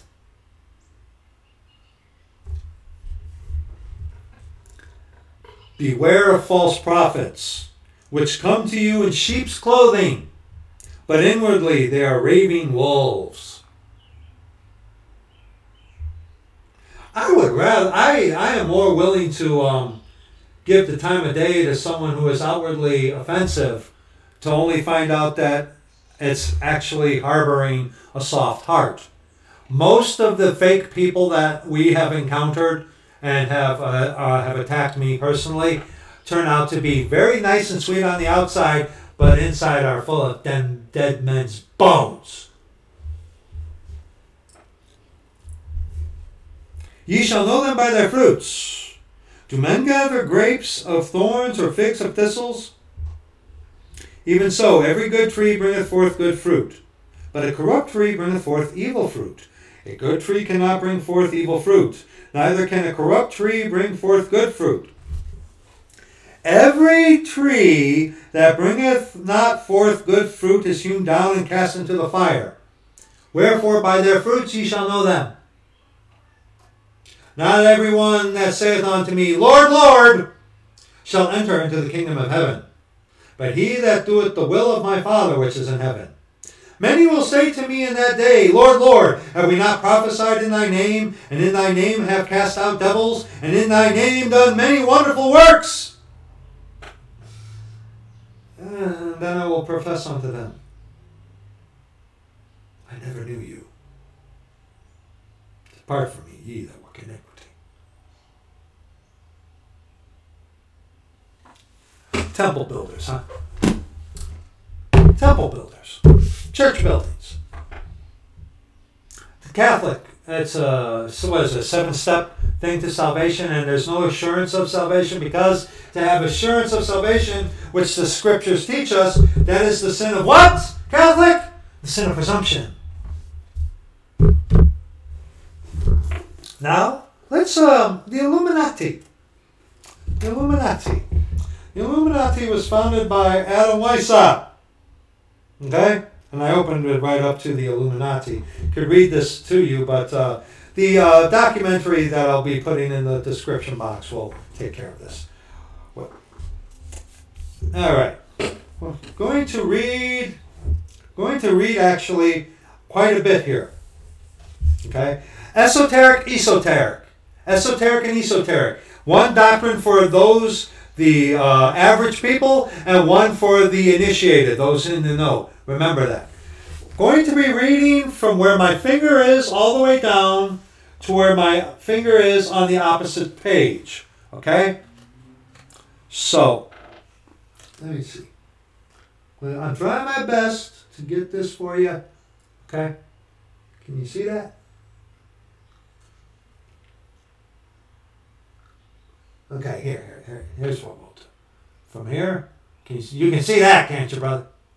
Yeah? To right here. You can see that, right? Okay. It's not like I have 1,200, uh, $1,299 to spend on a camera from up above or anything.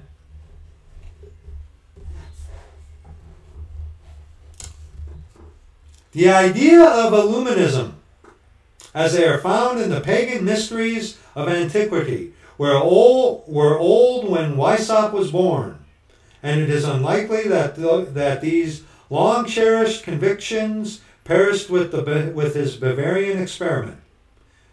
The work that was unfinished in 1785 remains unfinished in 1950. Esoteric orders will not become extinct until the purpose which brought them into being has been fulfilled. One world government, setting up that man of sin, the son of perdition. Organizations may perish, but the great school is indestructible. Of passing interest is the crusade of the Reverend Jedediah Morse of Charleston, South Carolina, against the threat of an Illuminist invasion of the United States. Capitalizing on the proclamation issued by President John Adams, March 23, 1798, referring to the hazard, hazard to the hazardous and afflictive position in which the country had been placed. The Reverend Morse preached with great fervor against the atheistic French state and its determination to corrupt the morals of the Western Hemisphere. A minor tempest followed, both sides of the issue resolute but uninformed.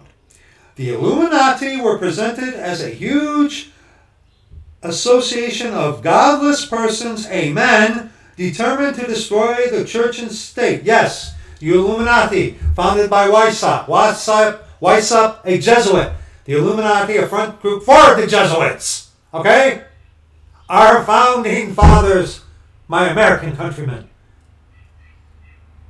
were either Masons and in the Illuminati. Doesn't that give you great hope as an American, huh?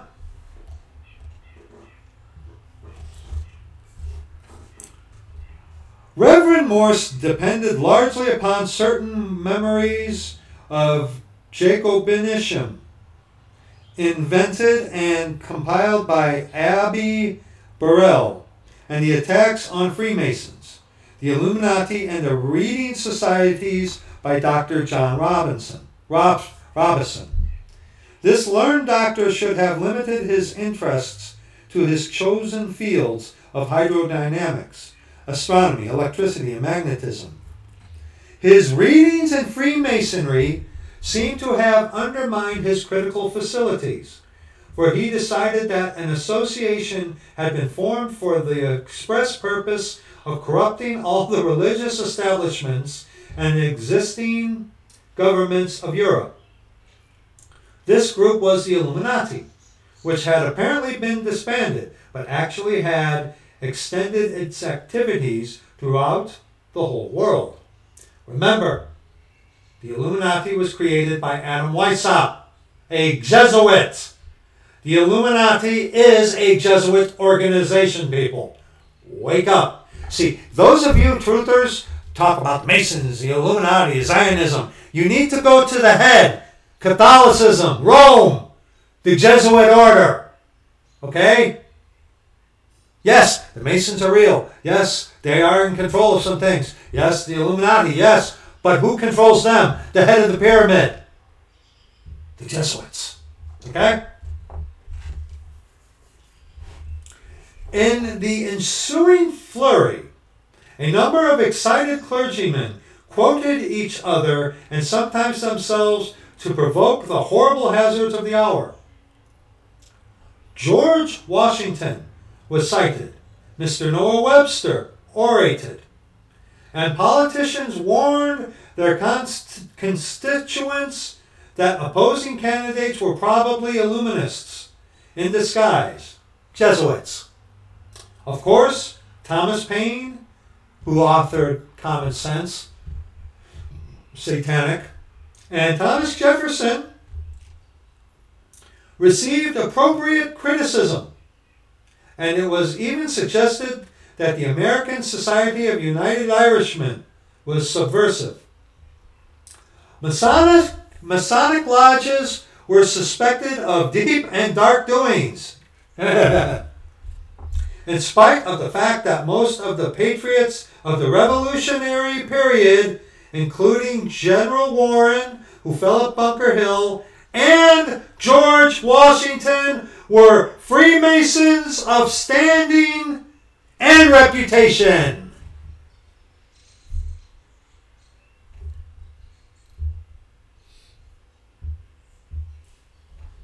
Let's read a little bit more. Actually, the Illuminist bubble was little better than a clerical hysteria, and there is no proof that there was any substance beneath the extravagant reports just gave you proof. you gotta remember, you gotta remember who Mr. Manly Palmer was. And Mr. Pan, uh, Mr. Manly Palmer Hall is in hell because he was a Mason, a Mason of the highest order, Mason of the Masons. He's in hell. If European secret societies of the period exercised an influence in the young American Republic, such influence certainly was not malevolent. The results, if any, are found in the separation of the state and church. a clear cut policy in American government. George Washington stated firmly that he did not believe that doctrines of the Illuminati or principles of Jacobinism had spread in the United States. At the same time, he defended the integrity of the Masonic lodges of his country. Yes, he did. Yes, he did. But at the same time, you got to remember, uh, you got to remember, the Freemasons were controlled by the Jesuits. And here's a here's a fact that some of those of our founding fathers who were Freemasons probably did not know that there were. We, we saw it. I showed you the proof in, uh, in one of the Alberto comic books that not even the Masons, uh, the regular Masons, knew of the Jesuit infiltration and Jesuit control. See, they were ignorant. But see, one of the things that John F. Kennedy did that got him killed was one of the many things, uh, besides that speech. He wanted to take away the Federal Reserve System, the, Red, the Federal Reserve, which is the bank of the Pope, bank of the Jesuits. Okay? Now, that is significant. Why? Okay? First, I'm going to read to you a bit from this book. This guy I've looked into. Eh, a lot of you make America great people and you truthers probably know who this guy is. I've looked into him. Uh, sounds he, he says some good things, but uh, America is not coming back, people. Trump is going to be the Jesuits are going to use Trump as they used Napoleon. You watch, you watch, okay? America is done for. The only hope that you have as an American is get saved. There'll be a link in the description box that you and I can reason together. Okay? But I'm going to read a little bit of this to you. Um, a sister, a dearly, dearly beloved sister, turned me on to this. And I'm going to be reading several pages to you of this this will not take long. Okay? Alright. Pause that and read it if you can. Let me see. Oh, oh, wow. Shouldn't step up that quick. Okay. Pause that and read it. Can you see that? Okay?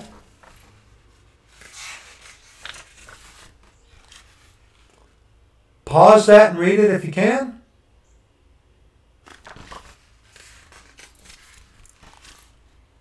Pause that and read it if you can.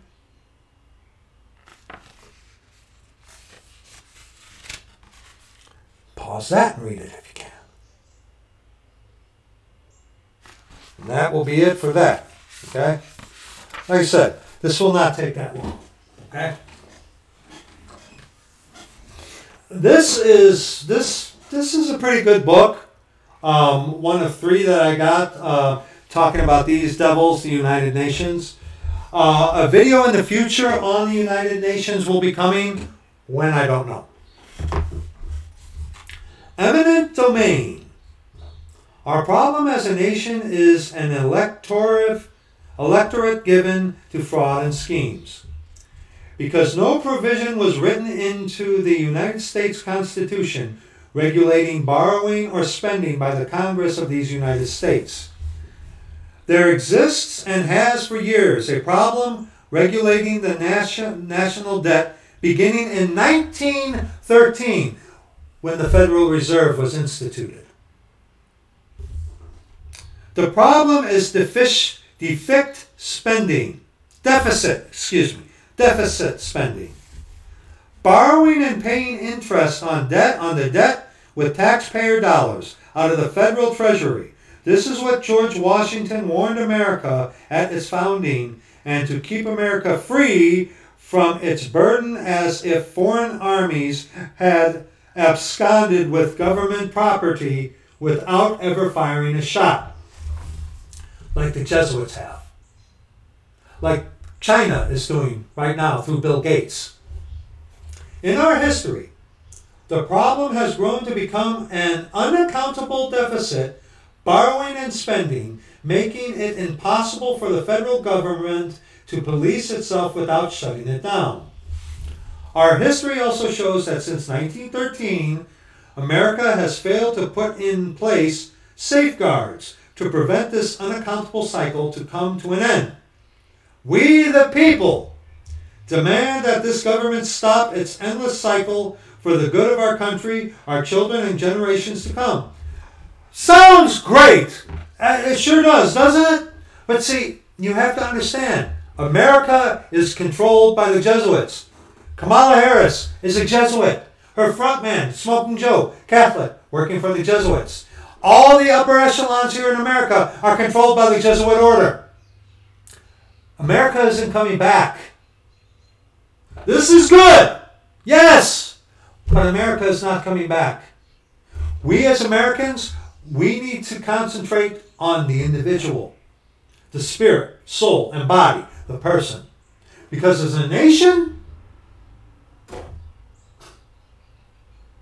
as a nation, there's no way. And remember, because of the trading uh, of the with the Enemy Act by what was that Roosevelt, we are under executive power. The Constitution can be circumvented because we are under a papal system, a papal interdict. Okay, we are under a papal system of government with Kamala Harris as the head. Never mind, Smoking Joe. Okay, never mind. He's the front man. Kamala Harris. You know, Miss Smiley. Looks like a capo demon, I'm telling you what. The ruling bank families in the Federal Reserve Central Bank know exactly the burden that they have created by design upon the American people and their children. People say, well, they're talking about the Rothschilds, which are Jewish, yes. Remember, there are some stupid Jews out there who have sold themselves over to the Vatican and betrayed their own people like uh, the uh, Soros, who uh, basically created Black Lives Matter, funded it, okay? A Mason, a traitor to his people. He joined the Nazis. Yeah. They know the bigger the debt on the nation, the greater their profits from the deficit. They're not about to reduce it because they know they don't have to but that does not release them from the liability of their fraud on the nation. Specifically, Executive Order 11110, signed June 4th, 1963, by then President John Fitzgerald Kennedy, transferring control of America's monetary system to the United States Treasury. Ha! right there. This is why we are reading this. Why this ties into why we looked at Kennedy's things uh, thing at the beginning. He wanted to take the control of America out of the hand of the Vatican, in accordance with that, the Constitution, and put it back into the hands of the people. He was an adulterer, a fornicator, and a Catholic. But he had the interest of this nation of the people in mind. He really did. And because he did this, Executive Order 11110, one of the many reasons why the Catholics, the Jesuits, killed him. We can see that in June 1963, America borrowed 305 trillion 805 59 uh, an incredible amount of money, backed by gold and silver in 1963. Today, the debt has grown and keeps growing to, an accept, unto unacceptable limits, all to make the bankers more money on interest charged on their debt, the fictitious debt thing that we got going on here in, in America. Credit. See, way back when, our American dollar was backed by gold and silver. Guess what, people? There ain't no gold and silver in Fort Knox. There isn't.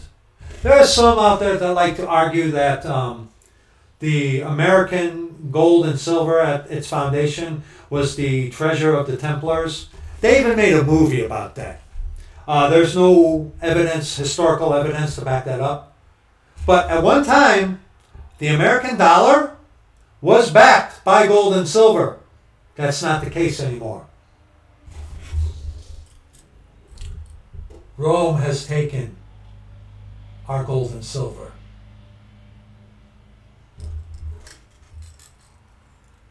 Here's the evidence. From 1963 to 1999, the national debt climbed from 305 billions to over 5 trillions in a matter of 36 years.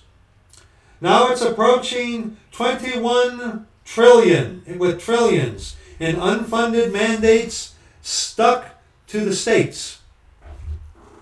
The cartel has made its business to loan the federal government any amount of fiat currency it requires as long as it pays the interest on the debt. The cartel. This guy doesn't link the Jesuits. Why? Probably he's a Mason. They have also made it their business to cause harm to citizens by causing the government to collect taxes to pay them. The debt, however, cannot be paid, but it can be forgiven. How? Because it's backed by nothing. You see, you see this? This is the American dollar. Okay? This is not backed by anything. This is, I mean, this is backed by imaginary credits. It used to be that the dollar was backed by gold and silver. Rome has stolen our gold and silver. There ain't no gold in Fort Knox, people. Wake up. Okay? It was backed by gold and silver. This is useless. The only thing that makes this valid, valid is the imaginary credit given to this nation by the Jesuit bank, the Federal Reserve. Now, as you see in the thumbnail, okay, see this? Now, the meaning of that, uh, some have said what it means um, that um, order out of chaos or order without God. But see this? The pyramid structure, remember the pyramid structure, Masonic, okay? You know, it starts at the top of the Jesuits and goes down. The prophets go up to the head of the temple, the pyramid, okay? See that? That's the eye of Horus. See that? And you'll see this on the thumbnail. You see that? The eagle there? Look at that. That's the symbol of Ra. Okay? That is the symbol of Ra on our American currency. And you see this thing right here? You see this? See that? Yeah, let me fit, yeah, dude. See that little star thing there? Look at it. Look at that. You connect the dots. That's the seal of the Masons, which is a sex symbol. As a English devil himself, and I give him credit for this, an English devil himself said, I would never own a $1 bill. That's our currency, people. Here in America, that's our currency. Given to us by Rome. The same people who formed the cartel sold the country that the, sold the country that the banks would take care of the financial needs of the nation so long as the nation paid them interest on the debt. I can't prove this to you, but the interest, the debt, the taxes that we are paying here in America, they're going to Rome because the Federal Reserve is the one printing our currency. The Federal Reserve is the Jesuit bank.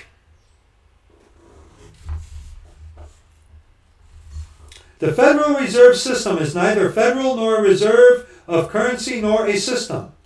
It is an uh, it is in effect a bankers cartel who lends fiat currency with no value for interest payments to the members of the cartel every month administered by the IRS and Treasury.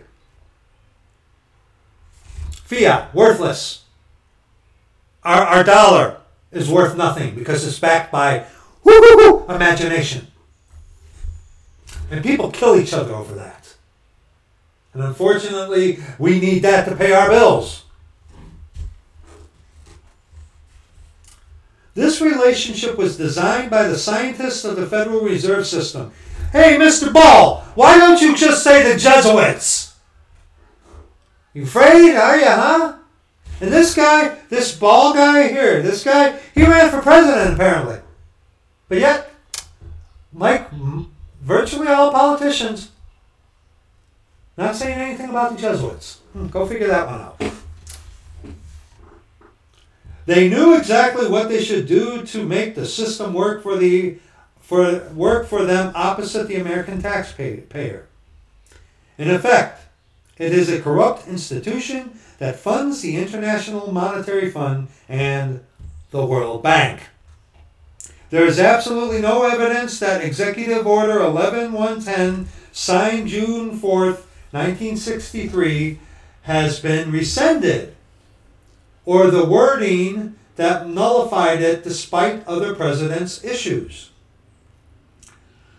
We are left that since we are left that since every president since Lyndon Johnson, who brought in 501c3, has ignored it, that perhaps fearful that if they were to follow its directive, they too might be killed, like President Kennedy was. But who killed him, Mr. Ball? The cartel? The Jesuits. Both Lincoln and Kevin Kennedy believed the nation should issue and regulate its own currency. For one of the many reasons also why Lincoln was killed. Not a foreign bank masquerading around as a federal entity, but a private banking cartel the nation had seen this before during the presidency of Andrew Jackson, 1829 to 1837. The Bank of the United States was shut down by Jackson, but an attempt was made on his life. Jackson, founder of the Democratic Party, surmised as warned by George Washington that the currency of the nation was sovereign to the United States Treasury and should stay in its control both in the manufacturing and minting of printed and coined currency. The infiltrate the infil, the inflation non-backed currency wars on the dollar devaluating the dollar's worth in terms of purchasing power and payment of debt release. Diluting the economy with unbacked greenbacks is a recipe for more inflation and higher prices. The Weimar Republic in Germany, who went to fiat paper currency. Uh, Alberto Rivera talks about that. How people would bring in um, uh, wheelbarrows full of paper money, but it wasn't enough to buy a loaf of bread. Why? Because the paper money is backed by nothing. Guess what, people? American, my fellow Americans, our paper money is backed by nothing. You might be saying, well, gold and silver, gold and silver. We'll get to that. Backed, backed securities with gold or silver makes for a much more stable economy, disallowing the government from overspending and causing families harm by a reckless and selfish policy of greed. Real capitalism will cause the federal government to shrink because it will no longer be able to control a rogue policy of self enrichment at the expense of the taxpayers and their families. The federal government will have to learn to live within its means like citizens must live within a budget. The charter bank will replace the central bank, aka, aka Federal Reserve System. And that's what Kennedy wanted to do, which is why the Jesuits killed him. And Mr. Ball and all you Make America Great people, You truthers, this is never going to happen. The Federal Reserve, the Jesuit Bank, is not going to be collapsed or closed or whatever. Our dollar means nothing. It's only by the grace of God that it still has any working whatever. But a charter bank to replace the Federal Reserve, people, America is a Jesuit nation. It's never going to happen. Okay? The boom and bust cycles in the history of the nation is over. Economic prosperity for America will be measured in real dollars backed by gold or silver instead of nothing. Amen, if that were possible. The national debt will be gone, and the dawning of a new era in funding will begin. War bonds, saving bonds, treasury bills all have their place raising money for worthy causes and investments for the people. Eminent domain is the taking by government your money, property, family, and freedom. And amen. It is. It is. But now, gold and silver.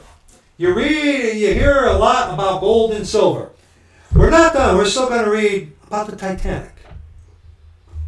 We're not done yet, but turn in your authorized version of the scriptures to Proverbs, to Proverbs chapter 11.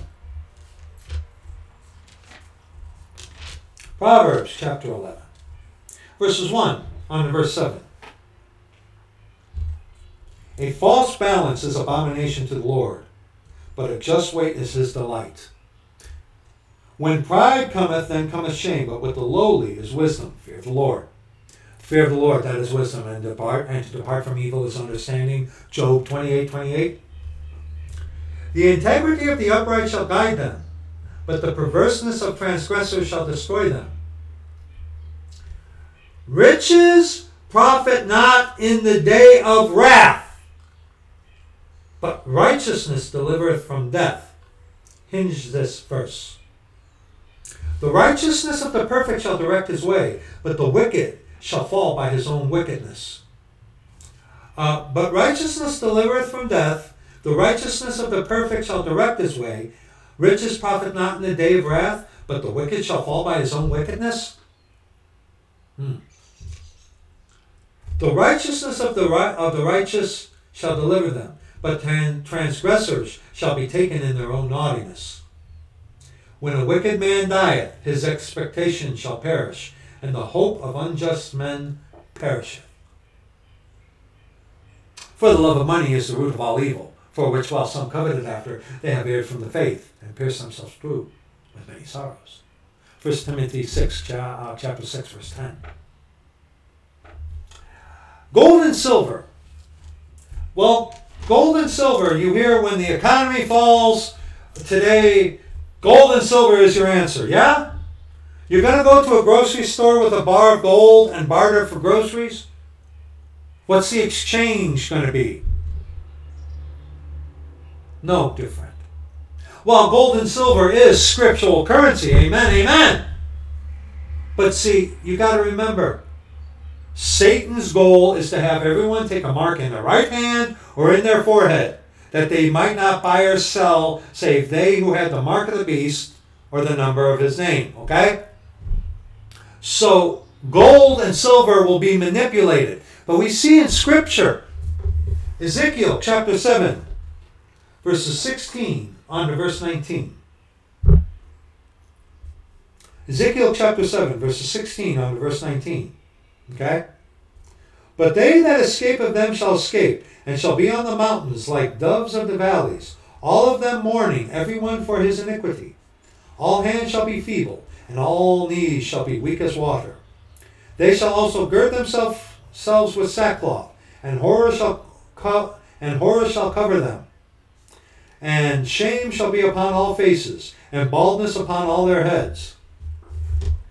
They shall cast their silver in the streets, and their gold shall be removed. Their silver and their gold shall not be able to deliver them in the day of the Lord wrath, in the day of the wrath of the Lord. Now, this was somewhat fulfilled already upon uh, Israel, Jerusalem, when they were totally taken out of there by Nebuchadnezzar, but for future po- uh, prophecy. Gold and silver in the time of Jacob's trouble, after we, the church of the living God, are taken out. Gold and silver is not going to merit you, profit you anything, people. Today, if the dollar were to uh, collapse, okay, the fiat currency were to become toilet paper, what are you going to do? You're going to go to uh, a grocery store with a thing of gold? Let me buy groceries? What's the exchange going to be? How is that grocery guy going to, how is that going to work? It's not. It's not. They shall not satisfy their souls, neither fill their bowels, because it is the stumbling block of their iniquity. Future uh, prophecy here. Yes, this has already been partly fulfilled with the devastation and destruction of Jerusalem by Nebuchadnezzar. Yes, but this also holds for future prophecy. Gold and silver will profit you nothing in the time of Jacob's trouble. People call it the Great Tribulation. Not so according to uh, Scripture. Daniel's 70th week, the time of Jacob's trouble. Okay? Gold and silver, silver will not profit you in those days. James chapter 5. James chapter 5, which is specifically addressing the time of Jacob's trouble. Because the book of James is written to who? Jews. James chapter 1, verse 1. James, a servant of God and of the Lord Jesus Christ, to the twelve tribes, the twelve tribes of Israel, who are Jews, which are scattered abroad, greeting. Book of James is written for the Jewish people during the time of Jacob's trouble, as is the book of Hebrews, written to the Hebrews during the time of Jacob's trouble. Okay? Doctrinally, Hebrews and James is written for the time of Jacob's trouble. There is doctrine within them that does cross dispensational lines, but in its in its totality, Hebrews and James is specifically more for the Hebrews, the Jews during the time of Jacob's trouble. But James chapter 5, James chapter 5, verses 1 on to verse 3. Time of Jacob's trouble. Midway during the time of Jacob's trouble, uh, that man of sin, the son of perdition, inaccurately referred to as the Antichrist, is going to make all, uh, uh, not force them, but uh, everyone who wants to buy or sell needs to get a mark in their hand or in their forehead. And once you take that mark of the beast, you're going to hell. No ifs, ands, or buts. You can't do like what uh, Robert Breaker, or Gene Kim, John MacArthur say, cut it off or laugh it out. You, no, once you take that, you're going to hell. No ifs, ands, or buts. And see, this is what these ecumenical scum, these easy believism heretic devils, they want to have you who get left behind to take that mark of the beast. That's their end game. But as far as gold and silver is concerned, See, this is the last days, people. The time of Jacob's trouble is coming. We, the Church of the Living God, are going to be redeemed, caught up. Before that happens, you can escape this time coming. But you need to get saved. You need to come to our Lord Jesus Christ, broken, contrite, and in fear call upon the name of the Lord. If you don't do that, you're going to go through the time Jacob's trouble. And hopefully you'll be part of that uh, big multitude that gets saved in the early part of the time of Jacob's trouble and gets killed. Because you'll realize that people like Smiley up in Canada is lying to you. You'll realize that the ecumenical love gospel is of Satan himself. You'll realize that we of the Church of the Living God who adhere to the scriptures have been telling you the truth all along. God help you. James 5, verses 1 and verse 3. Go to now, ye rich men. This is for the time of Jacob's trouble. Weep and howl. Instruction in righteousness, yes. There is doctrine that, uh, that crosses dispensational lines, yes. Go to now, ye rich men. Weep and howl, for your miseries that shall come upon you. Your riches are corrupted, and your garments are moth eaten because you got to take the mark of the beast during the time of trouble. Your gold and silver is cankered, and the rust of them shall be a witness against you. Gold and silver can't rust. Uh, no, you're right, meaning that they're worthless, not being used. They can't be used because the mark of the beast has to be implemented. And if you have gold and silver, why need the mark of the beast, right?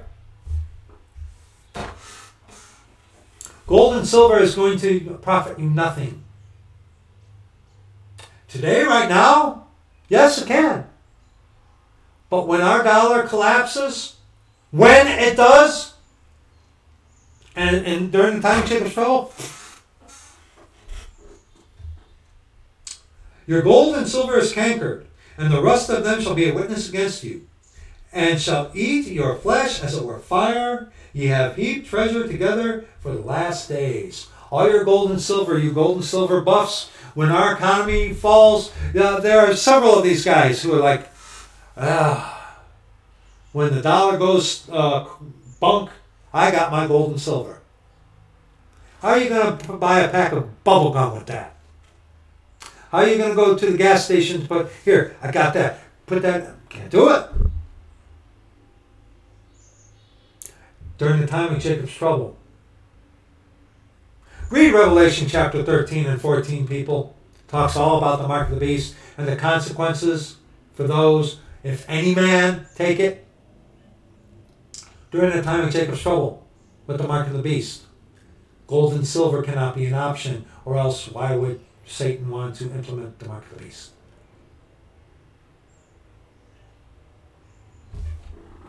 Isaiah chapter 2. Isaiah chapter 2.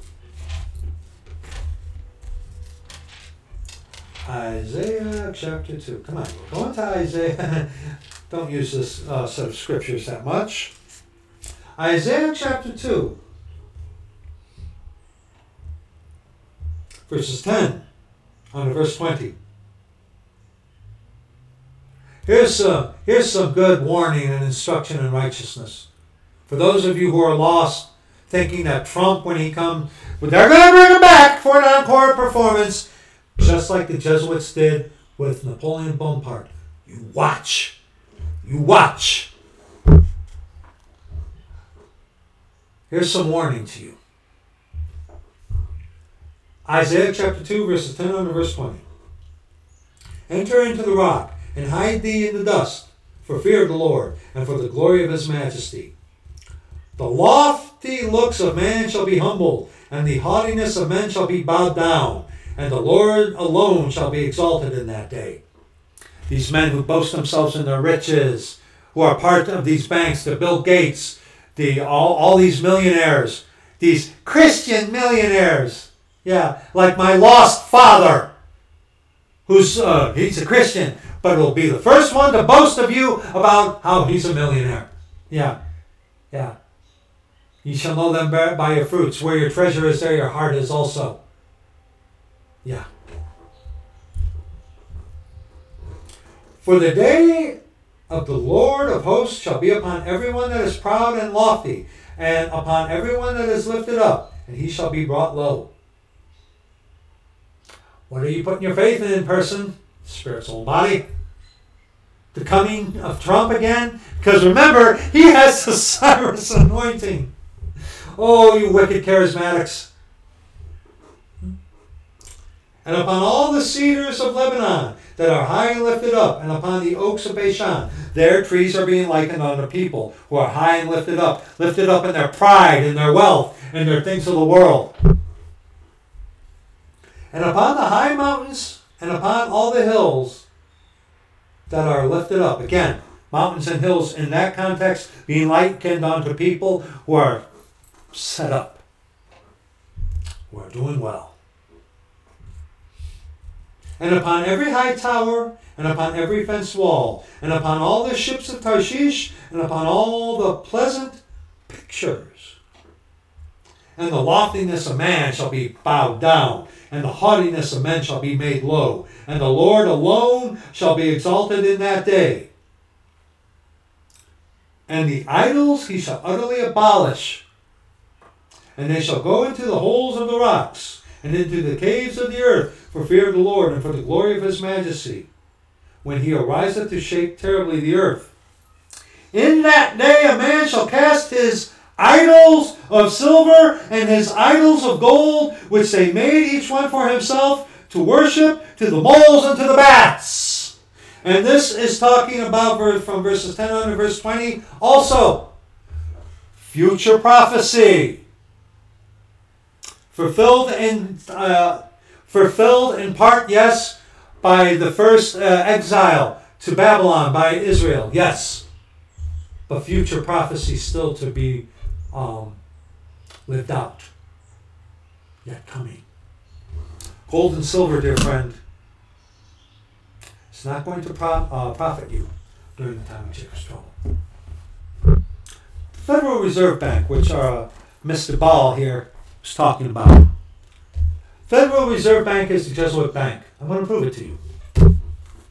Bill Hughes, The Secret Terrorists. This is a very good book about the Jesuits.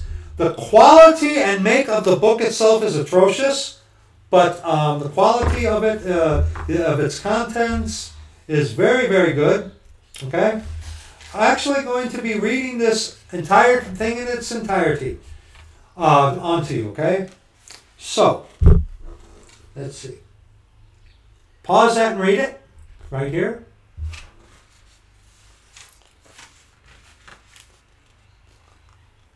Pause that and read it. Can you see it? Yeah, yeah. Oh, sorry. Pause that and read it. You know, take a screenshot of it and zoom in, okay? Pause that and read it.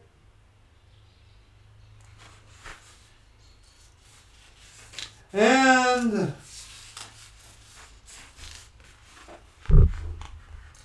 pause that and read it. Now, in the documentary that I'm going to be linking in the description box here, they talk about the Titanic. And, you know, you when I first heard about the Titanic being sunk by the Jesuits, it's like, what? The sinking of the Titanic. When we think of events that have transpired in history over the last 100 or 200 years, there are certain events that stand out as ones of great horror, great surprise, and great sadness. Of the many that come to mind, the most devastating have been the destruction of the World Trade Center in New York City, 9 11, which was uh, orchestrated by the Jesuit order, and the sinking of the Titanic. Look at what the Jesuit controlled government here in America implemented after 9 11. Look what the Jesuit order implemented here in America after the sinking of the Titanic. Coincidence, I'm sure. The greatest tragedies in the last 200 years can be traced to the Jesuits.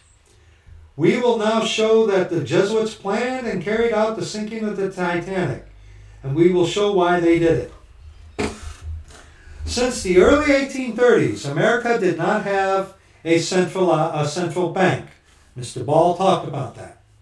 The Jesuits desperately wanted another central bank in America so that they would have a bottomless reservoir from which to draw money for their many wars and other hideous schemes around the world.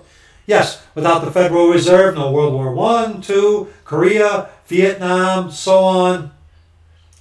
In 1910, seven men met on Jekyll Island, just off the coast of Georgia, to establish a central bank, which they called the Federal Reserve Bank. These men were Nelson Aldrich and Frank Vander, Vanderlip, both representing the Rockefeller finance, financial empire. Henry Davidson, Charles Norton, Benjamin Strong, representing J.P. Morgan, and Paul Warburg, representing the Rothschild banking dynasty of Europe. We have already seen that the Rothschilds were the banking agents for the papacies, Jesuits, holding the key to the wealth of the Roman Catholic Church. Rothschilds, Jesuits, yeah, traitors to the to their own people. Uh, uh, the Jews, yeah, the traitors to their own people. The Morgans were friendly competitors with the Rothschilds and became socially close to them. Morgan's London based firm was saved from financial ruin in 1857 by the Bank of England, over with which the Rothschilds held great influence. Oh, say, hey, you mean the Bank of England is also controlled by the Jesuits? really? Thereafter, Morgan appears to have served as a Rothschild financial agent and went to great length to appear totally American.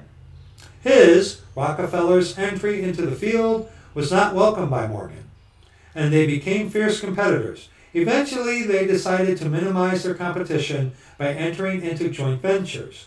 In the end, they worked together to create a national banking cartel called the Federal Reserve System.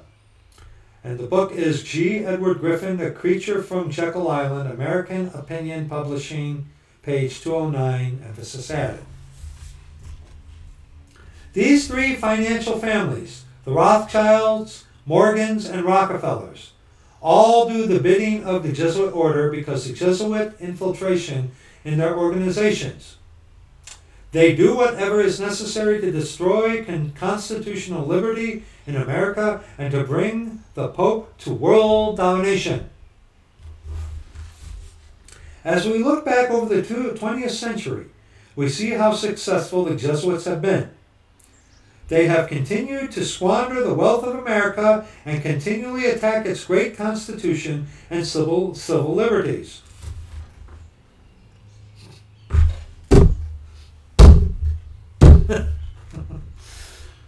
I just lost my place. Daily, the power of the Pope in Vatican City, Vatican City increases. One day they will achieve total power again. They will. The building of the Titanic began in 1909 at a shipyard in Belfast, the capital of Northern Ireland. Belfast was a Protestant haven and was hated by the Jesuits. World War I began just a few years later. The Titanic was one of a fleet of ships owned by the White Star Line, an international shipping community. Banking was not the only business in which Morgan had a strong financial interest. Using his control over the nation's railroads and financial leverage, he had created an international shipping trust which included Germany's two largest lines, plus one of the two in England, the White Star Lines. And isn't it interesting that right now, today, as you and I speak together, that the um, the supply lines for the food here in America are starting to come under siege? There were a number of very rich and powerful men who made it abundantly clear that they were not in favor of the Federal Reserve system. J.P. Morgan was ordered by the Jesuits to build the Titanic. This unsinkable ship would serve as the death ship for those who opposed the Jesuits' plan for a Federal Reserve system. That's why they built the Titanic. The, these rich and powerful men would have been able to block the establishment of the Federal Reserve, and their power and fortunes had to be taken out of their hands. They had to be destroyed by a means so preposterous that no one would suspect that they were murdered. Like, shit, the Jesuits sank the Titanic? What?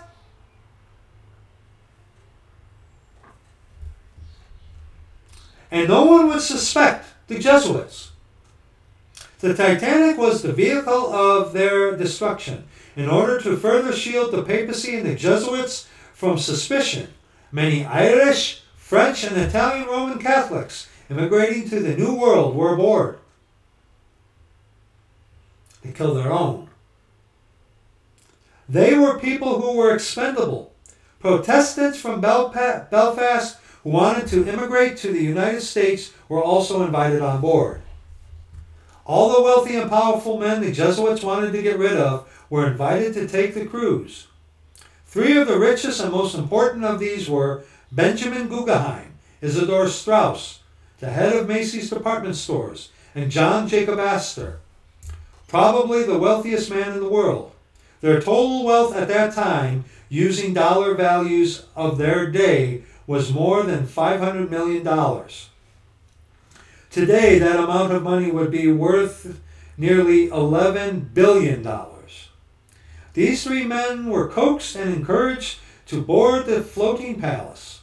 They had to be destroyed because the Jesuits knew they would use their wealth and influence to oppose a Federal Reserve Bank, as well as the various wars they were being, that were being planned.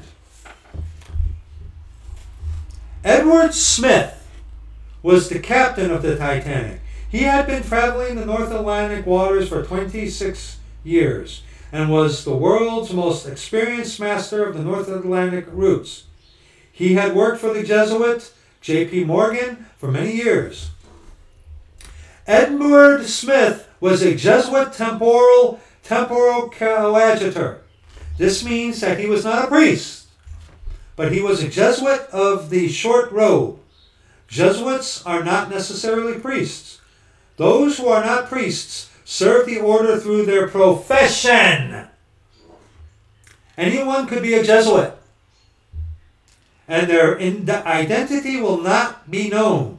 Edward Smith served the Jesuit order in his profession as a sea captain. Many interesting points about the Titanic are discussed in a videotape made by National Geographic in 1986. The videotape is entitled The Secrets of the Titanic.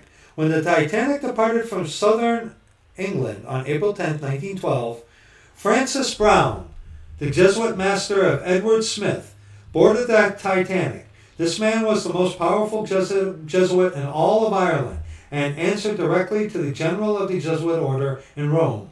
The videotape declares, and they mention this in the documentary, the vacationing priest, Father Francis Brown, caught these poignant snapshots of his fellow passengers, most of them on voyage to eternity. The next day, Titanic made her last stop off the coast of Queenstown, Ireland. Here, tenders brought out the last passengers, passengers, mostly Irish immigrants headed for new homes in America. And here, the lucky Father Brown disembarked. Father Brown caught Captain Smith peering down from Titanic's bridge poised on the brink of destiny. The Secrets of the Titanic, National Geographic Videotape, 1986. Here is Jesuit treachery at its finest. The provincial Father Francis Brown boards Titanic, photographs the victims, and these are the photographs that are well known. Most assuredly, briefs the captain concerning his oath as a Jesuit, and the following morning bids him farewell. Eric John Phelps, Vatican Assassins, Halcyon Univers- Unified Services, page 427. Brown went over with Edward Smith one last time exactly what he was supposed to do in the North Atlantic waters. The Jesuit general, general told Francis Brown what was to happen. Brown then tells Smith, and the rest is history. Edward Smith believed that the Jesuit general and this is for all these coadjutor devils and all of you who work for them. Edward Smith believed that the Jesuit general is the God, little g, of the Jesuit society, and nothing but his electric touch can galvanize their dead corpses into life and action. Until he speaks, they are like serpents coiled up in their wintry graves lifeless and inactive. But the moment he gives the word of command, each member springs instantaneously to his feet, leaving unfinished whatsoever may have engaged him, ready to assail whomsoever he may require to be assailed, and to strike wheresoever he shall direct a blow to be stricken. R.W. Thompson, The Footprints of the Jesuit Jesuits Hunt and Eaton. I tried to get that book. Yeah, we've experienced this. People lying dormant and low, all of a sudden come up preaching the love gospel, attacking the brethren. Yeah. Yeah. Hey, boy, shoe fits. Edward Smith was given an order to sink the Titanic, and that's exactly what he did. By the command of God, the Jesuit general, it is lawful to murder the innocent, to rob, to commit all lewdness, because he, the Pope, is Lord of life and death, and of all things, and thus to fulfill his mandate is our duty. W.C. Brownie, Brownlee's Secret Instruction of the Jesuits, American and Foreign Christian Union, page 143. Secret Instruction, the Secreta Monita. Link for it is on the channel. There is no record in history of an association whose organization has stood for 300 years unchanged and unaltered by all the assaults of men and time, and which has exercised such an immense influence over the destinies of mankind. The ends justify the means is his favorite maxim.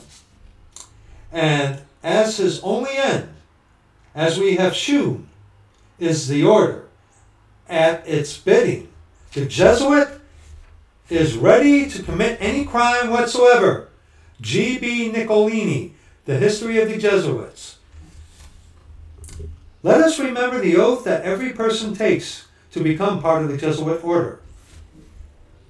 I should regard myself as a dead body, without will or intelligence, as a little crucifix which is turned about unresistantly at the will of him who holds it as a staff in the hands of an old man, who uses it as he requires it and as it suits him best. R.W. Thompson, The Footprints of the Jesuits. When a person takes the Jesuit oath, he is bound to his master until the day he dies. Omerta. Edward Smith had become a man without will or intelligence. He would commit any crime the order wanted him to commit. Edward Smith had been required for martyrdom on board the Titanic that night. Edward Smith knew his duty. He was under oath. The ship had been built for the enemies of the Jesuits. After three days at sea, with only one pair of glasses for the bridge, Edward Smith propelled the Titanic full speed ahead, 20 knots, 22 knots, on a moonless dark night through a gigantic ice field, nearly 80 square miles in area. Edward Smith did this despite at least eight telegrams warning him to be more cautious because he was going too fast. Did Edward Smith need one caution? No. He had been traveling those waters for 26 years.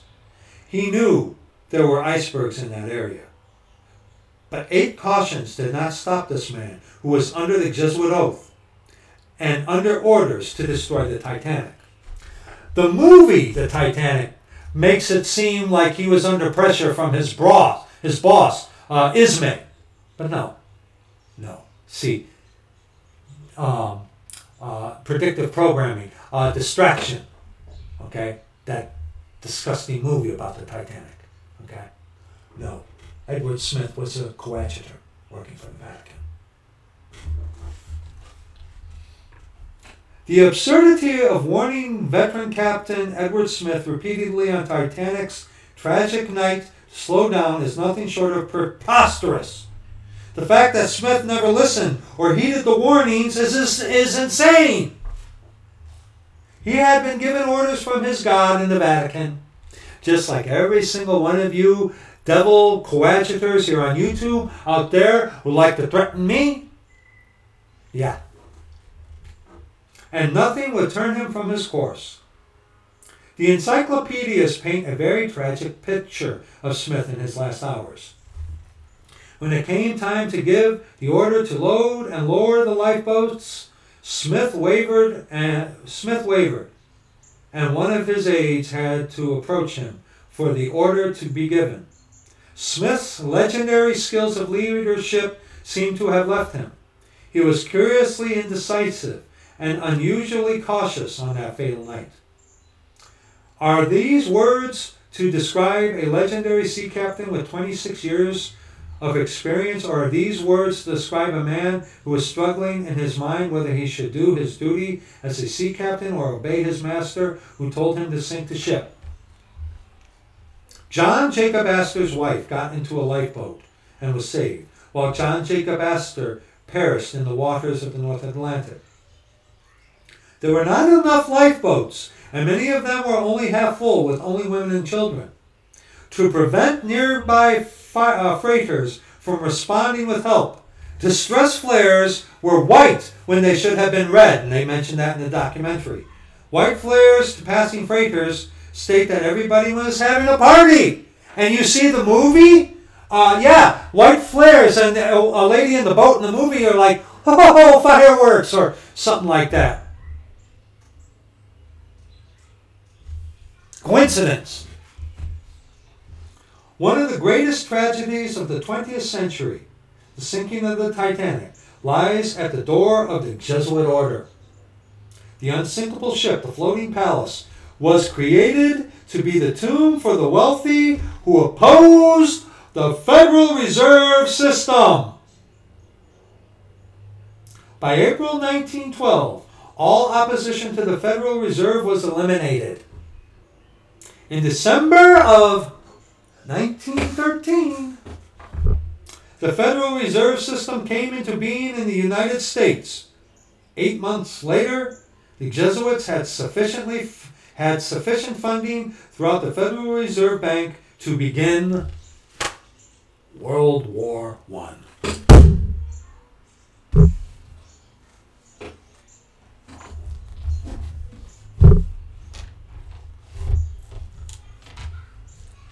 A book in scripture that I really like to read that I think really, really, really hits home to tell us about the Jesuit order. Jude. Book of Jude. Verses 3 on to verse 19. Then we'll be done. Beloved, when I gave all diligence to write unto you of the common salvation, it was needful for me to write unto you and exhort you that ye should earnestly contend for the faith which was once delivered unto the saints. For there are certain men crept in unawares, who were before of old ordained to this condemnation ungodly men turning the grace of our God into lasciviousness, and denying the only Lord God and our Lord Jesus Christ. I will therefore put you in remembrance, though ye once knew this, how that the Lord, having saved the people out of the land of Egypt, afterward destroyed them that believed not.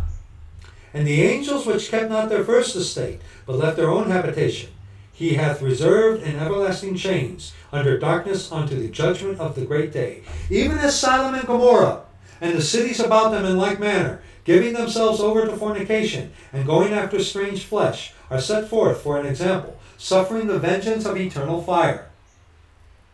Likewise, also these filthy dreamers defile the flesh, despise dominion, and speak evil of dignities. Yet Michael the archangel, when contending with the devil, he disputed. Uh, Yet Michael the archangel, when contending with the devil, he disputed about the body of Moses. Durst not bring against him a railing accusation, but said, The Lord rebuke thee. Get that about verse 9. You've got these uh, charismatic people saying, I rebuke you in the name of. No, no, no, no, no. Uh, not even Michael the archangel would bring anything against Satan, but he said, The Lord rebuke thee. But these who are these? These men that crept in unawares, who were of old, who were before of old, who were before of old ordained to this condemnation, ungodly men. But these speak evil of those things which they know not, but what they know naturally, unregenerate, as brute beasts. In those things they corrupt themselves. Woe unto them, for they have gone in the way of Cain and ran greedily after the heir of Balaam for reward, and perished in the gainsaying of Korah.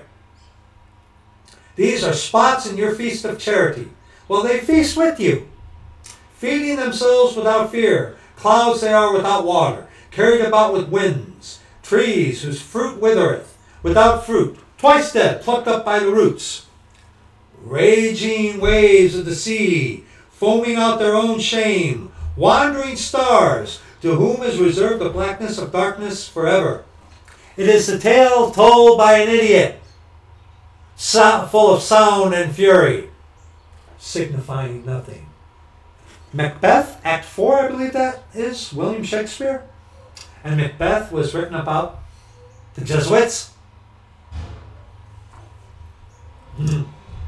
And Enoch also, the seventh from Adam, prophesied of these, saying, Behold, the Lord cometh with ten thousands of his saints to execute judgment upon all. Oh, God's a God of judgment. Oh, gee, imagine that. And to convince all that are ungodly among them of all their ungodly deeds which they have ungodly committed, and of all their hard speeches which ungodly sinners have spoken against him. So God's judgment is there to convince those who are ungodly of their ungodly deeds. So asking for God's righteous judgment upon the wicked, that that judgment might bring them to an awareness, uh, aware that their deeds are ungodly, that they're lost, and they might need to be saved. Really? You don't say.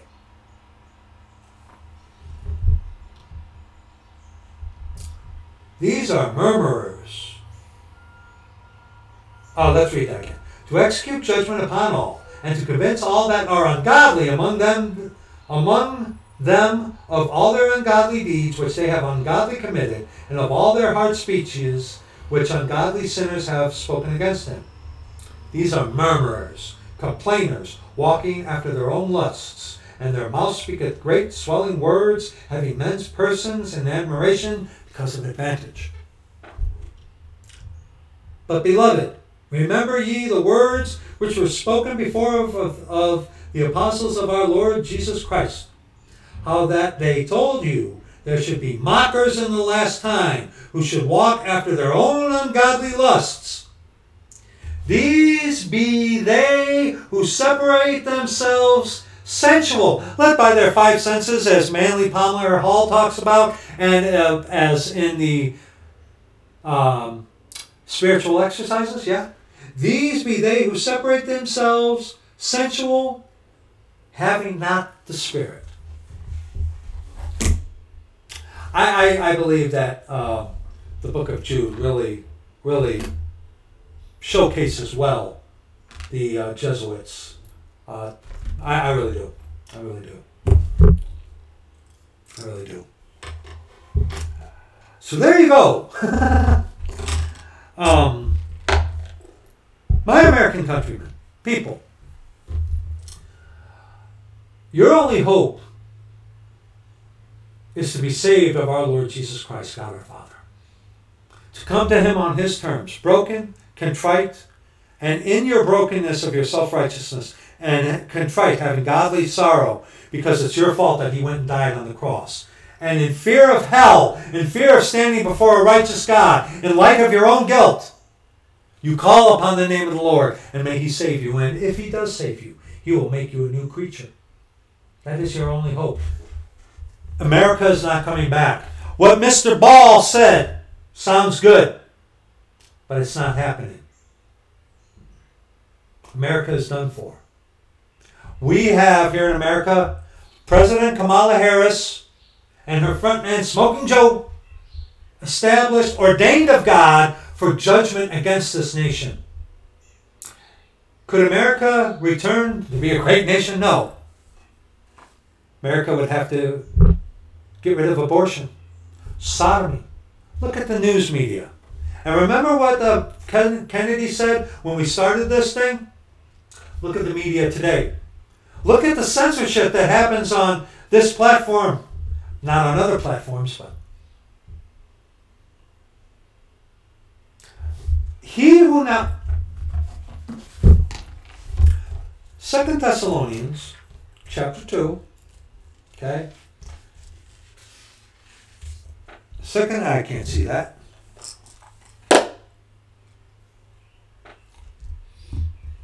Second Thessalonians chapter 2, verses 6 on to verse 8. And now ye know what withholdeth, that he might be re- revealed in his time. For the mystery of, uh, of iniquity of iniquity doth already work.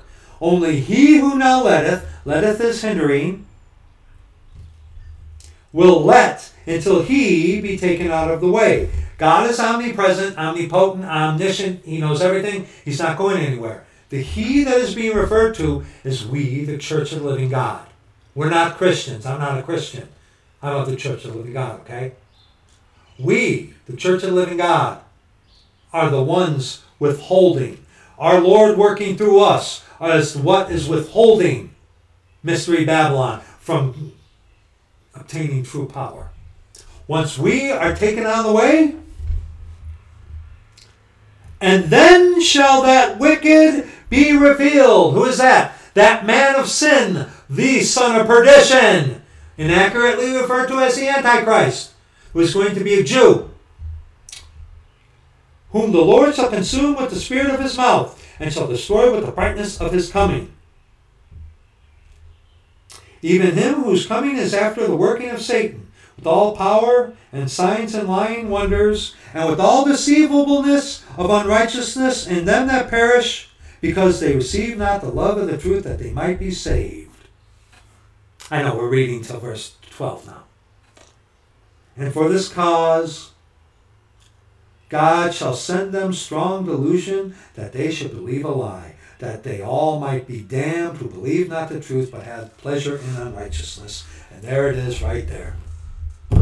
You want to believe that America is going to be great. You want to believe that good days are coming so you can go back to normal. It's not going to happen. You don't want to believe the true God of the Scriptures, our Lord Jesus Christ, God our Father? No, you want to believe in, you know, just believe, you save yourself by your belief, or God loves everybody, everybody's going to be saved, God's love is unconditional, preach the love of God. That's not the God of the authorized version of the Scriptures. That's that man of sin, the son of perdition. I invite you come unto our Lord Jesus Christ, God our Father, through the Scriptures. Like I said, a link for um, you and me to talk together, you and I, to reason together, will be in the uh, description box. I do hope you watch it. Take heed, people. Because these infiltrators and these people who are revealing themselves to be working for the Vatican are coming out in droves. Be aware.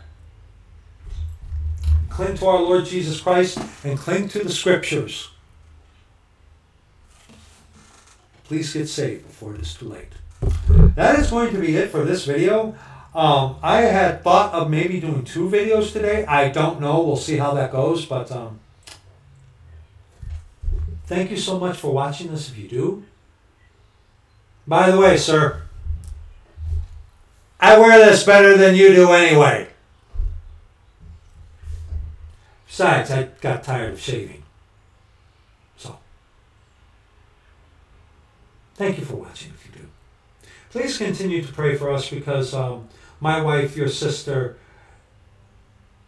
she's not getting better. She's not getting worse, but she's not getting better. I'm pleased that the Lord uh, may continue to do as He has always done. Despite the threats and all these enemies trying to um, turn everybody against us. Thank you. We love you, Church of Living God. May our Lord bless every single one of you Church of Living God. Thank you for your prayers. Thank you for your gifts. We love you. I will see you in the next video.